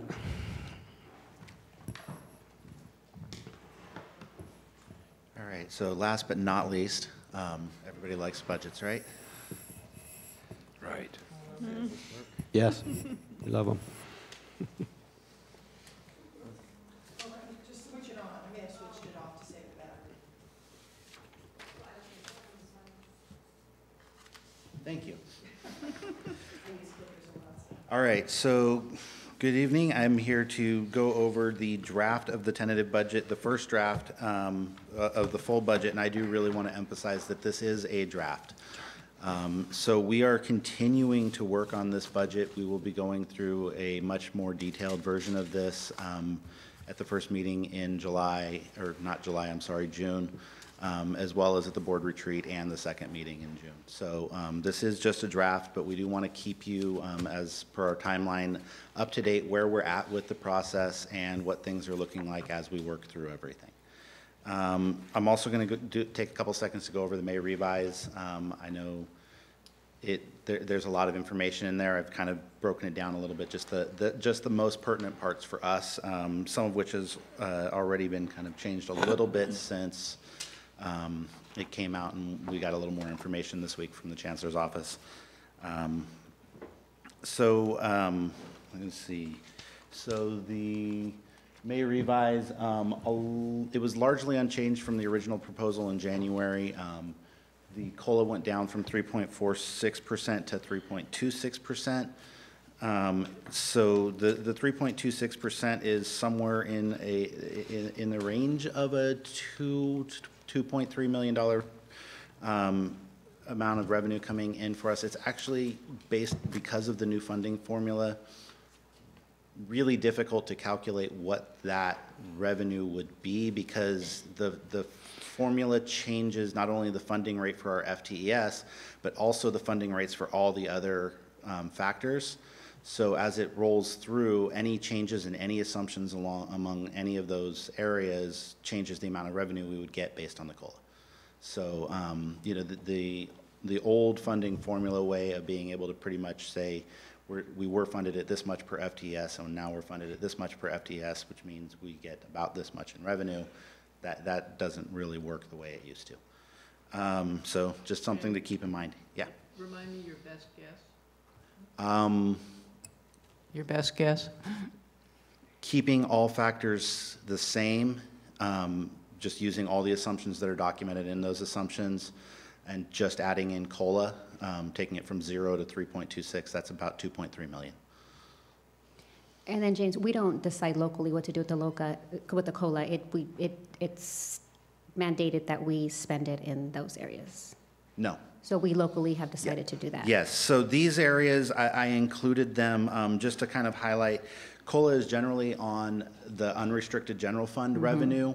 Um, There are a, about five programs that are called out that are not in our unrestricted general fund, but are categorical programs in our restricted general fund that do get um, a- a- that same percentage applied to their revenues. So then that Um. And it's only those, those um, programs, which is why I went ahead and called those ones out, so we would know which programs would be getting it. All the other ones don't, um, and, and all other categorical programs don't get that COLA. Um, So the, the May revise did add in uh, money for deferred maintenance and instructional equipment. Um, That was not originally in there. Uh, It's about 436,000 for us. Um, So we'll, we'll work on what we're wanting to use that for. Um, The STRS rate, the, the governor is still proposing to contribute $3 billion to buy down um, our STRS contributions. Um, That moved us down from a 17.1 to 16.7% rate next year. Um, So it's good to keep in mind that prior to his proposal to buy down these rates, we were expecting that rate to move up to 18.1% next year. Um, So that is a um, relief on the increase. It's, we're still expecting an increase, but it, it does still provide a relief, so it's a smaller increase than we were originally planning for. So Um, the difference in dollars is, So between the 17.1 and the 16.7, well, I mean, I'm thinking of the increase, the, the dollar increase worth looking at.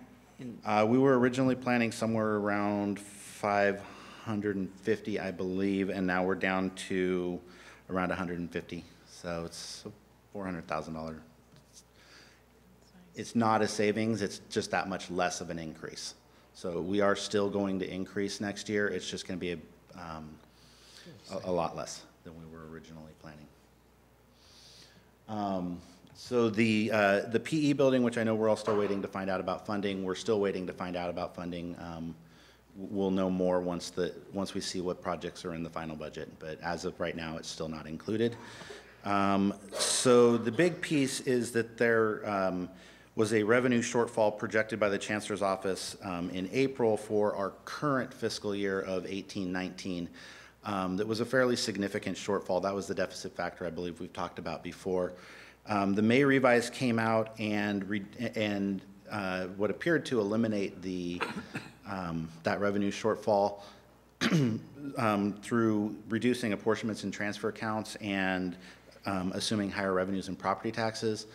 Um, After talking to the Chancellor's office at a conference we were just at, uh, um, what that really is, is there's still about a $49 million shortfall system-wide.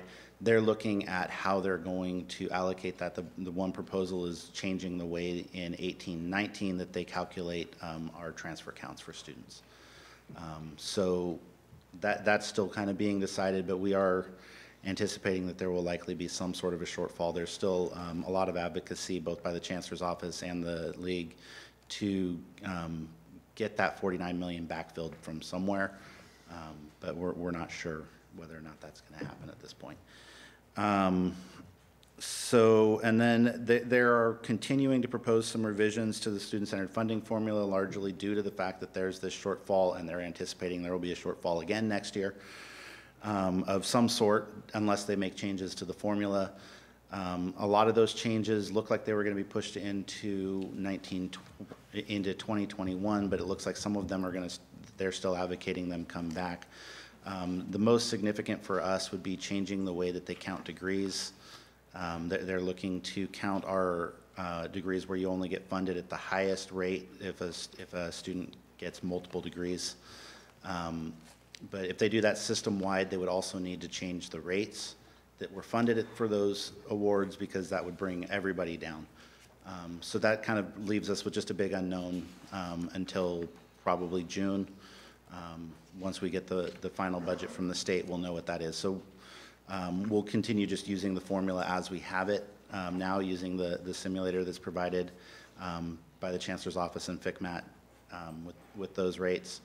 Um, And then we'll, we'll adjust once we know more information for the adopted budget. So, any questions on the May revise and, and what we're looking at in that budget? It, it sounds as if we're awfully tentative. It sounds as if we had anticipated a whole lot of additional revenue that have suddenly vanished. And that leaves you and us with a major problem of how to craft a reasonably uh, predictable budget. Anything wrong with that statement? Um, We did, we, we are still receiving um, additional revenue over what we Yeah. would have otherwise received in prior years. But we had anticipated the larger Um, amount. We did anticipate larger amounts, and throughout the state, um, you know, i- it's, it's been a real challenge. Um, The, the formula has changed continuously throughout the year um, as they've reinterpreted the way that they're going to calculate um, things, as they're realizing that there's not enough money in the system, because we do continue as a system to have one big pie um, in terms of all the money that comes through. And so as they realize there's not enough to fund the whole funding formula as it was originally written, they're having to come up with ways in which to allocate that money to all the different districts. Um, So yes, we are getting less money in the current year most than we were anticipating. um, And that does pose challenges because it's May and a lot of us still don't completely know what our revenues are going to be. um, you I think you deserve. Around the you- state. You deserve overtime. It's just that we're not going to be able to afford it. Yeah, managers don't get overtime. So, But that's all right. It- it- I, I like looking at numbers, so this is good fun. So, Um, okay, so I'm going to run through these budget assumptions real quick. Most of these are basically exactly the same as when we went over revenues uh, a couple meetings ago, so there's not much here. I'm just going to highlight a couple changes. Um, as I mentioned, the COLA went from 3.46 down to 3.26. This is still not included in our total revenue number. Um, we don't include uh, the, the COLA revenue on either the expenditures or the um, revenue side at this point in the, in budget development. Um, Also, our, just to highlight our total computational revenue, which is all the money that comes from the state, that's our funding formula. Um, That, we're using the May 3rd FCMAT calculator, so we're just continuing to use the latest and greatest that they've given us. um, And, you know, entering our best guesses on all of our assump, on all of our um, factors. So um, the other piece I do want to highlight. May I go back and ask you just one quick question? On the full-time equivalent students, how many years out does the budget um, project beyond 1920? Um, So for our budget, right now, the budget we're looking at tonight is just looking at Just 1920. 1920, okay. Um, When we look at the projections in June, we will have that go out, um, I believe five years is what we normally try and do. Um, You know, the first couple years are always going to be a lot easier to project out. Everything beyond that gets a little harder, but we do like to look out as far as we can into the future. Um, So yeah, that, that's, so what we're looking at now is just, uh, just this, our, our estimate for next year. Um, I was very happy to hear the news that summer's looking good, so thank you for that. Um, So, and I do want to point out that we are looking at- and are currently uh, anticipating a 1% decline in next year. Um, So we're, we're trying to be conservative and we're actually budgeting the decline into the, into it. All right, so the, the big change on this page is in our student success factors. You'll notice that our associate degrees, associate degrees for transfer, and credit certificates um, have all been changed to increases. That is actually based on the awards that were handed out um, at graduation. Um, The numbers were higher than in our previous year, um, so because we had fairly real data for that, I went ahead and plugged it in. Um, So that, that is good to hear.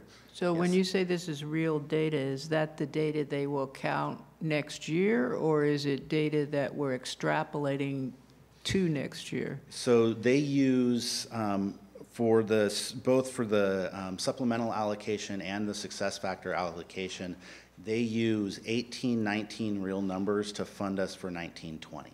So these were the, the uh, certificates and degrees that we handed out in eighteen nineteen, so I'm anticipating that we should get count. Based on the current rules in the system, we'll get funded that. And um, if they those. change the, the way they count the degrees, Then all of this changes. all of it changes or only some of it? Um, At least the degrees, certificates, and ADTs would definitely change. Um,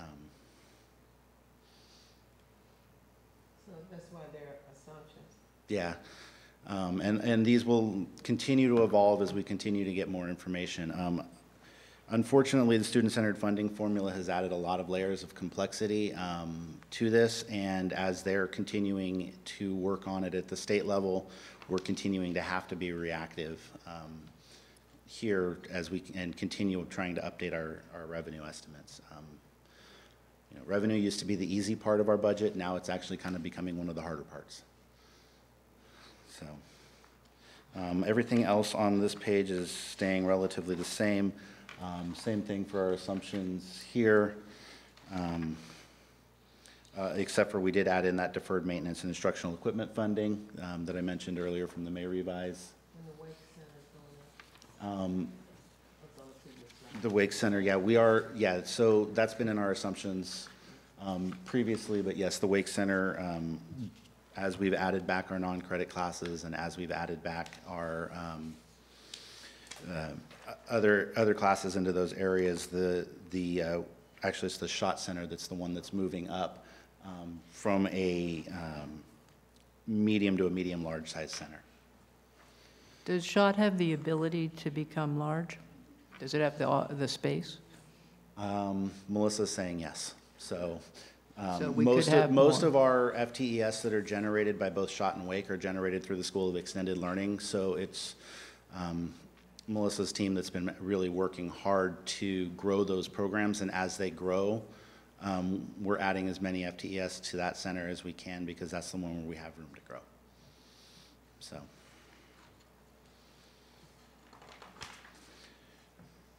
Okay. um, So here, you, the, the, the one big thing to highlight is just that CalSTRS piece. So the, we were seeing an increase of about $320,000 with 17.1%. Um, Oh, That's wait, what's in the wait. numbers. I'm sorry. Yes. You went too fast for me. Um, Trying to figure out the page here. Revenues continued? Yes. Yeah, but revenues continued before we got to expenditures? Was there another page? There you go. Yeah. Um, The uh, assumption that international tuition revenue increases by 5% um, doesn't strike me as realistic. Um, I'm getting that from our international programs office. That's where they're assuming they're going to go. Remember, 5% on a small number is not a very big number. It's not a lot of students. Okay, I'm just thinking the national environment is not real friendly, and that has an impact. Okay. We have a 1,500 pad, no student pad cap. Well, I think my question would be, is the 5% about,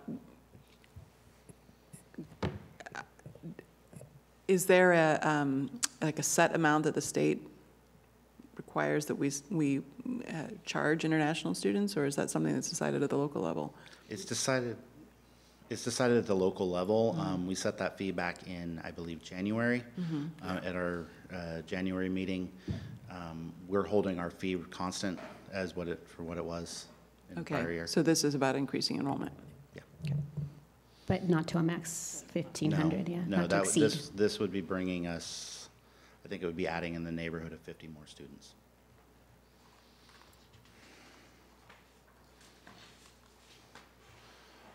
Okay, so, uh, like I said, this page, we're basically, um, I just wanted to highlight that the number that we have in the, in the budget that we'll see at the end is still at that 17.1% rate for the, um, STRS contributions. The, the change down to the, uh, 16.7% kind of came late on us. Um, so that's not yet in the budget. Uh, it's approximately another $160,000, um, lower than the 320, so.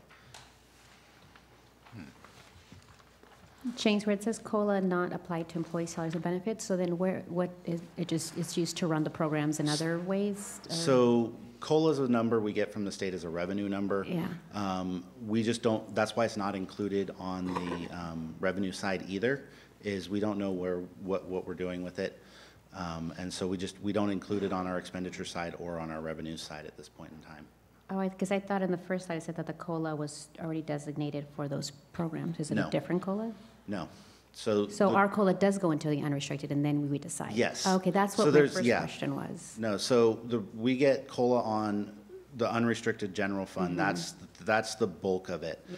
And then for our non-unrestricted general fund programs, Uh-huh. um, EOPS, DSPS, um, there's a handful of those programs that are called out specifically in the chancellor's op, or in the governor's budget to also receive COLA in addition to the general fund. Okay, so then we get two. I don't think I ever knew that. So it's, it's just a percentage that's applied to revenues um, at the state level, and then at the local level, that's where we kind of decide what, what we're doing with that on the expenditure side. Got it. But then for the other one, we just, just drop that into the general fund and then just go and do what we need to do.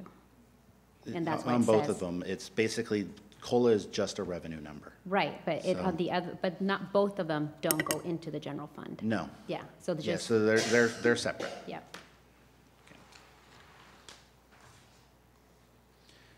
All right, um, so transfers assumptions remain the same as they were, uh, when we looked at revenues. So, um, okay, so we always, we, we are still funded at, um, seventy percent of our revenues comes from FTES. Um, so we've always kind of just included this to remind everybody, we are still in a, in a decline. Um, you know, we peaked in not- 09, 10. I did add in the previous years because I know that's been a question a few times. Um, to, to just kind of see where we've been over you know, essentially since 2001, 2002. So you can see that we Yeah. definitely do continue to decline, and as I said, we are still budgeting a 1% decline in next year as well. I think many people, mm, if I'm correct here, that many people may not realize that the uptick and then continuing down actually is an artifact because when we went from summer one to summer two, to two summer sessions, we had a time when we were basically counting a full summer plus the two summer sessions, and that gave us an artificial bump in revenue Uh, the- and the- numbers. Oh, are you talking about in 14, 15? Yeah, back and then. Um, That was a, a bump that really wasn't a bump in certain ways. That's right. It's in a fiscal committee meeting in Yeah. probably 2000s. I can see it because Lori made a graph on the whiteboard in that room over there. Yeah. So you're saying it should be a steady line It's down. really a steady line down. It is not, it, it- we should not be looking at that and say, oh, look, we had an increase. Yeah, and that It year was was a pretty double much an count, anomaly. basically, for two summers. Yeah, but we kept the money. Well, it's just, we would just note it. Yeah. But it's flattening out. So, okay, so all of that culminates in uh, budget.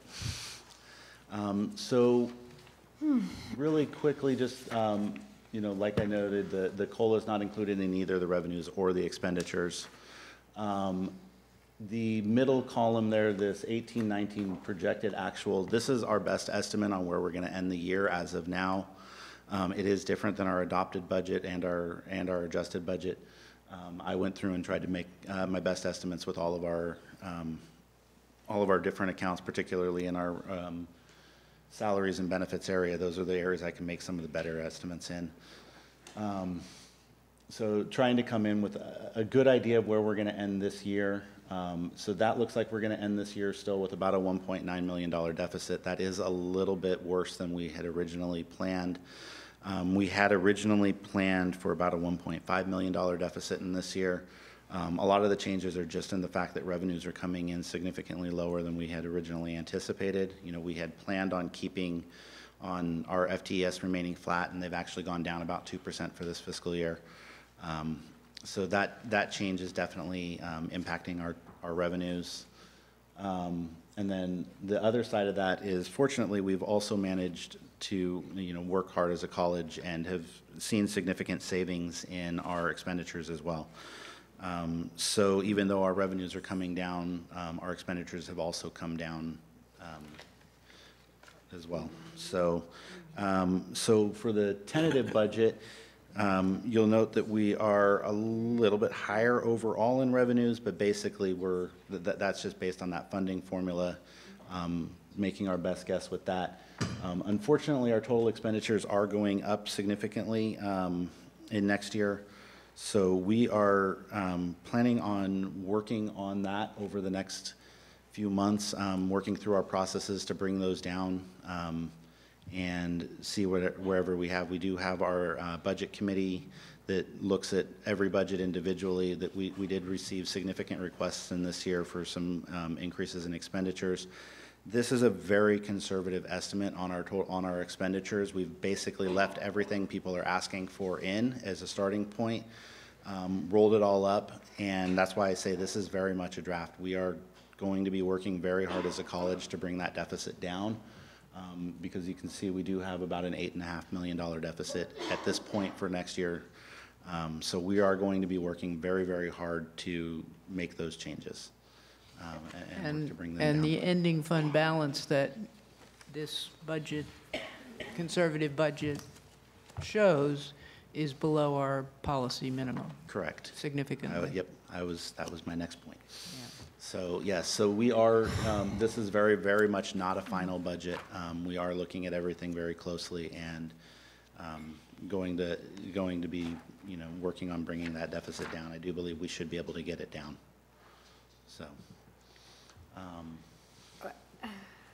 I, I don't know if we've ever asked, but I, I am starting to wonder now, when do we have the conversation that we are continuing to operate at this capacity and yet the revenue is just not there to operate at the capacity we're operating?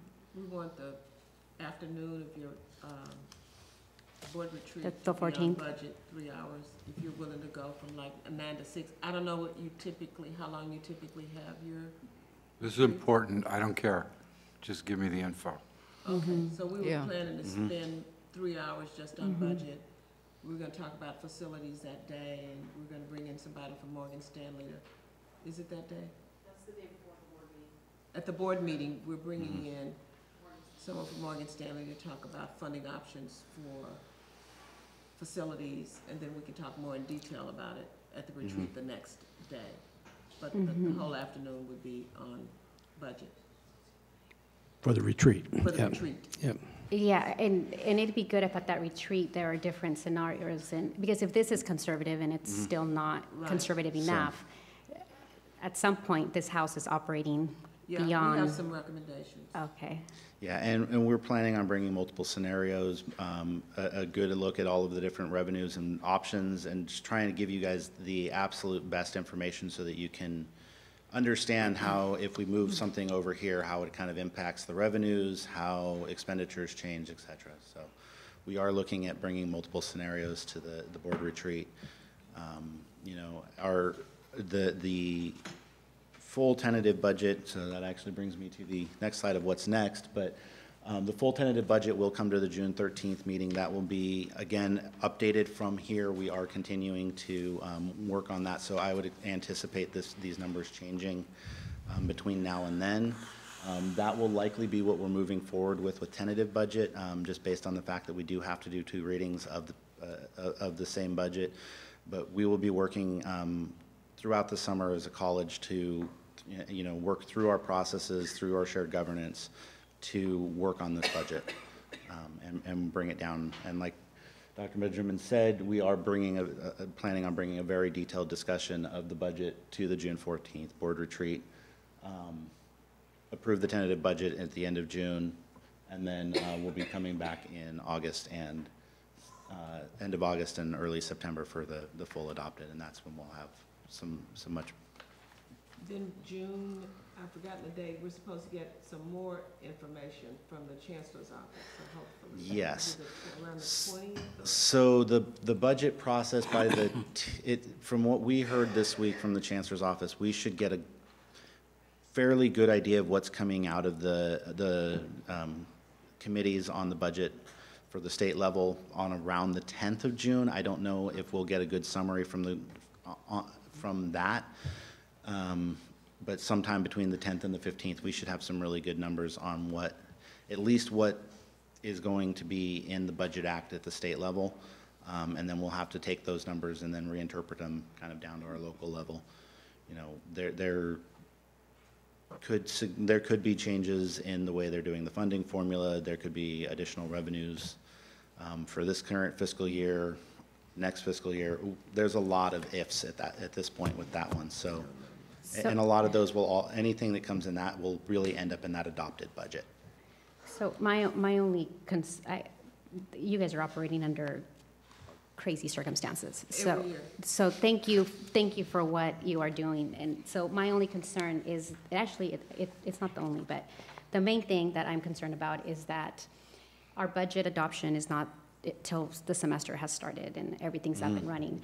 So I would want to see scenarios that assume that we're not going to start this academic school year operating with assuming that we're decreasing $10 million. I mean, the reality is, this is just not possible. It's just not going to happen. We can't dip. We, I, this, I was like, am I tired? And I asked Marsha, she's like, no, you're not. No. Um, And so I think the real conversation needs to happen about how we're going to change our operating, because we cannot afford to keep operating this way. No, we, we. It's just we- not sustainable, and eh, we're going to be in danger. No, we do continue to operate in a, in a uh, structural deficit at this point, and so we do need to be having those hard conversations. So, And they I agree. clearly need to be pretty big numbers to make an impact on this. I mean, it, it's not nibbling around the edges, it's And significant. really early, like now, so that in the fall, peop we know how we're uh, starting in the fall, but, because we're not gonna, i- it's too late and to, to say, oh, yeah, you know what I mean? And it's just unfair. We can't start the year cutting. Like we, yeah. We'll, we'll have something for you. Yeah, no, The decisions will be difficult. Yeah, and, and we are having those conversations. Thank you for Anything else? Any other I- questions? I think when we talk about that, it would be helpful to me to see, you know, um, I mean, some of this is our continuing enrollment drop. That's a Mhm. significant part of that. Um, We've been optimistic, I think, in the past about that not, about that coming to an end or even going back up, and it's not materialized. So it would be helpful to know the brief history of that in order to see whether we're being as realistic as we need to be looking ahead. Yeah, Because we I think the demographics and the uh, financial aspects of some of these changes are pretty set, um, and maybe we just are learning their impacts. Um, You know, fewer children of the cohort that comes into the college in, across the country, uh, millennial-born parents whose kids are just now hitting college, the oldest group are just now hitting college, and they themselves do not have the money that, that others did because they came into the workforce at the time of the Great Recession, and so they never caught, they're not catching up. They are less able to afford um, schooling, and, and good news is they'll come to public schools. Bad news is they won't be able to send kids across the country to come stay with us, so. Let's hope. Yeah, well. Yep, no, we, we will be bringing, like I said, we're gonna, we're looking at a range of, we want to look at a range of assumptions um, and kind of how any, any particular assumption would impact the budget. So, you know, like I said, right now, we have a one percent, an assumption of a one percent decrease, and that's our best guess at this point. But we do want to show you uh, what if it was, and what if it was, you know, and what if it went the other way, and how would that look? Okay. Great, any other Thank you, questions? James. All right, thank you. So, um, before I ask for a, yes, thank you very much. Before I ask for a motion for adjournment, just remind everybody, we have a special meeting on May 30th, a week from today, at 4 o'clock to uh, meet with our uh, search consultant, Pamela Fisher. And with that, uh, motion to adjourn? I move to adjourn. Second? Somebody second? Second. All those in favor? Aye. Aye. We're done. Good, everybody voted to go home.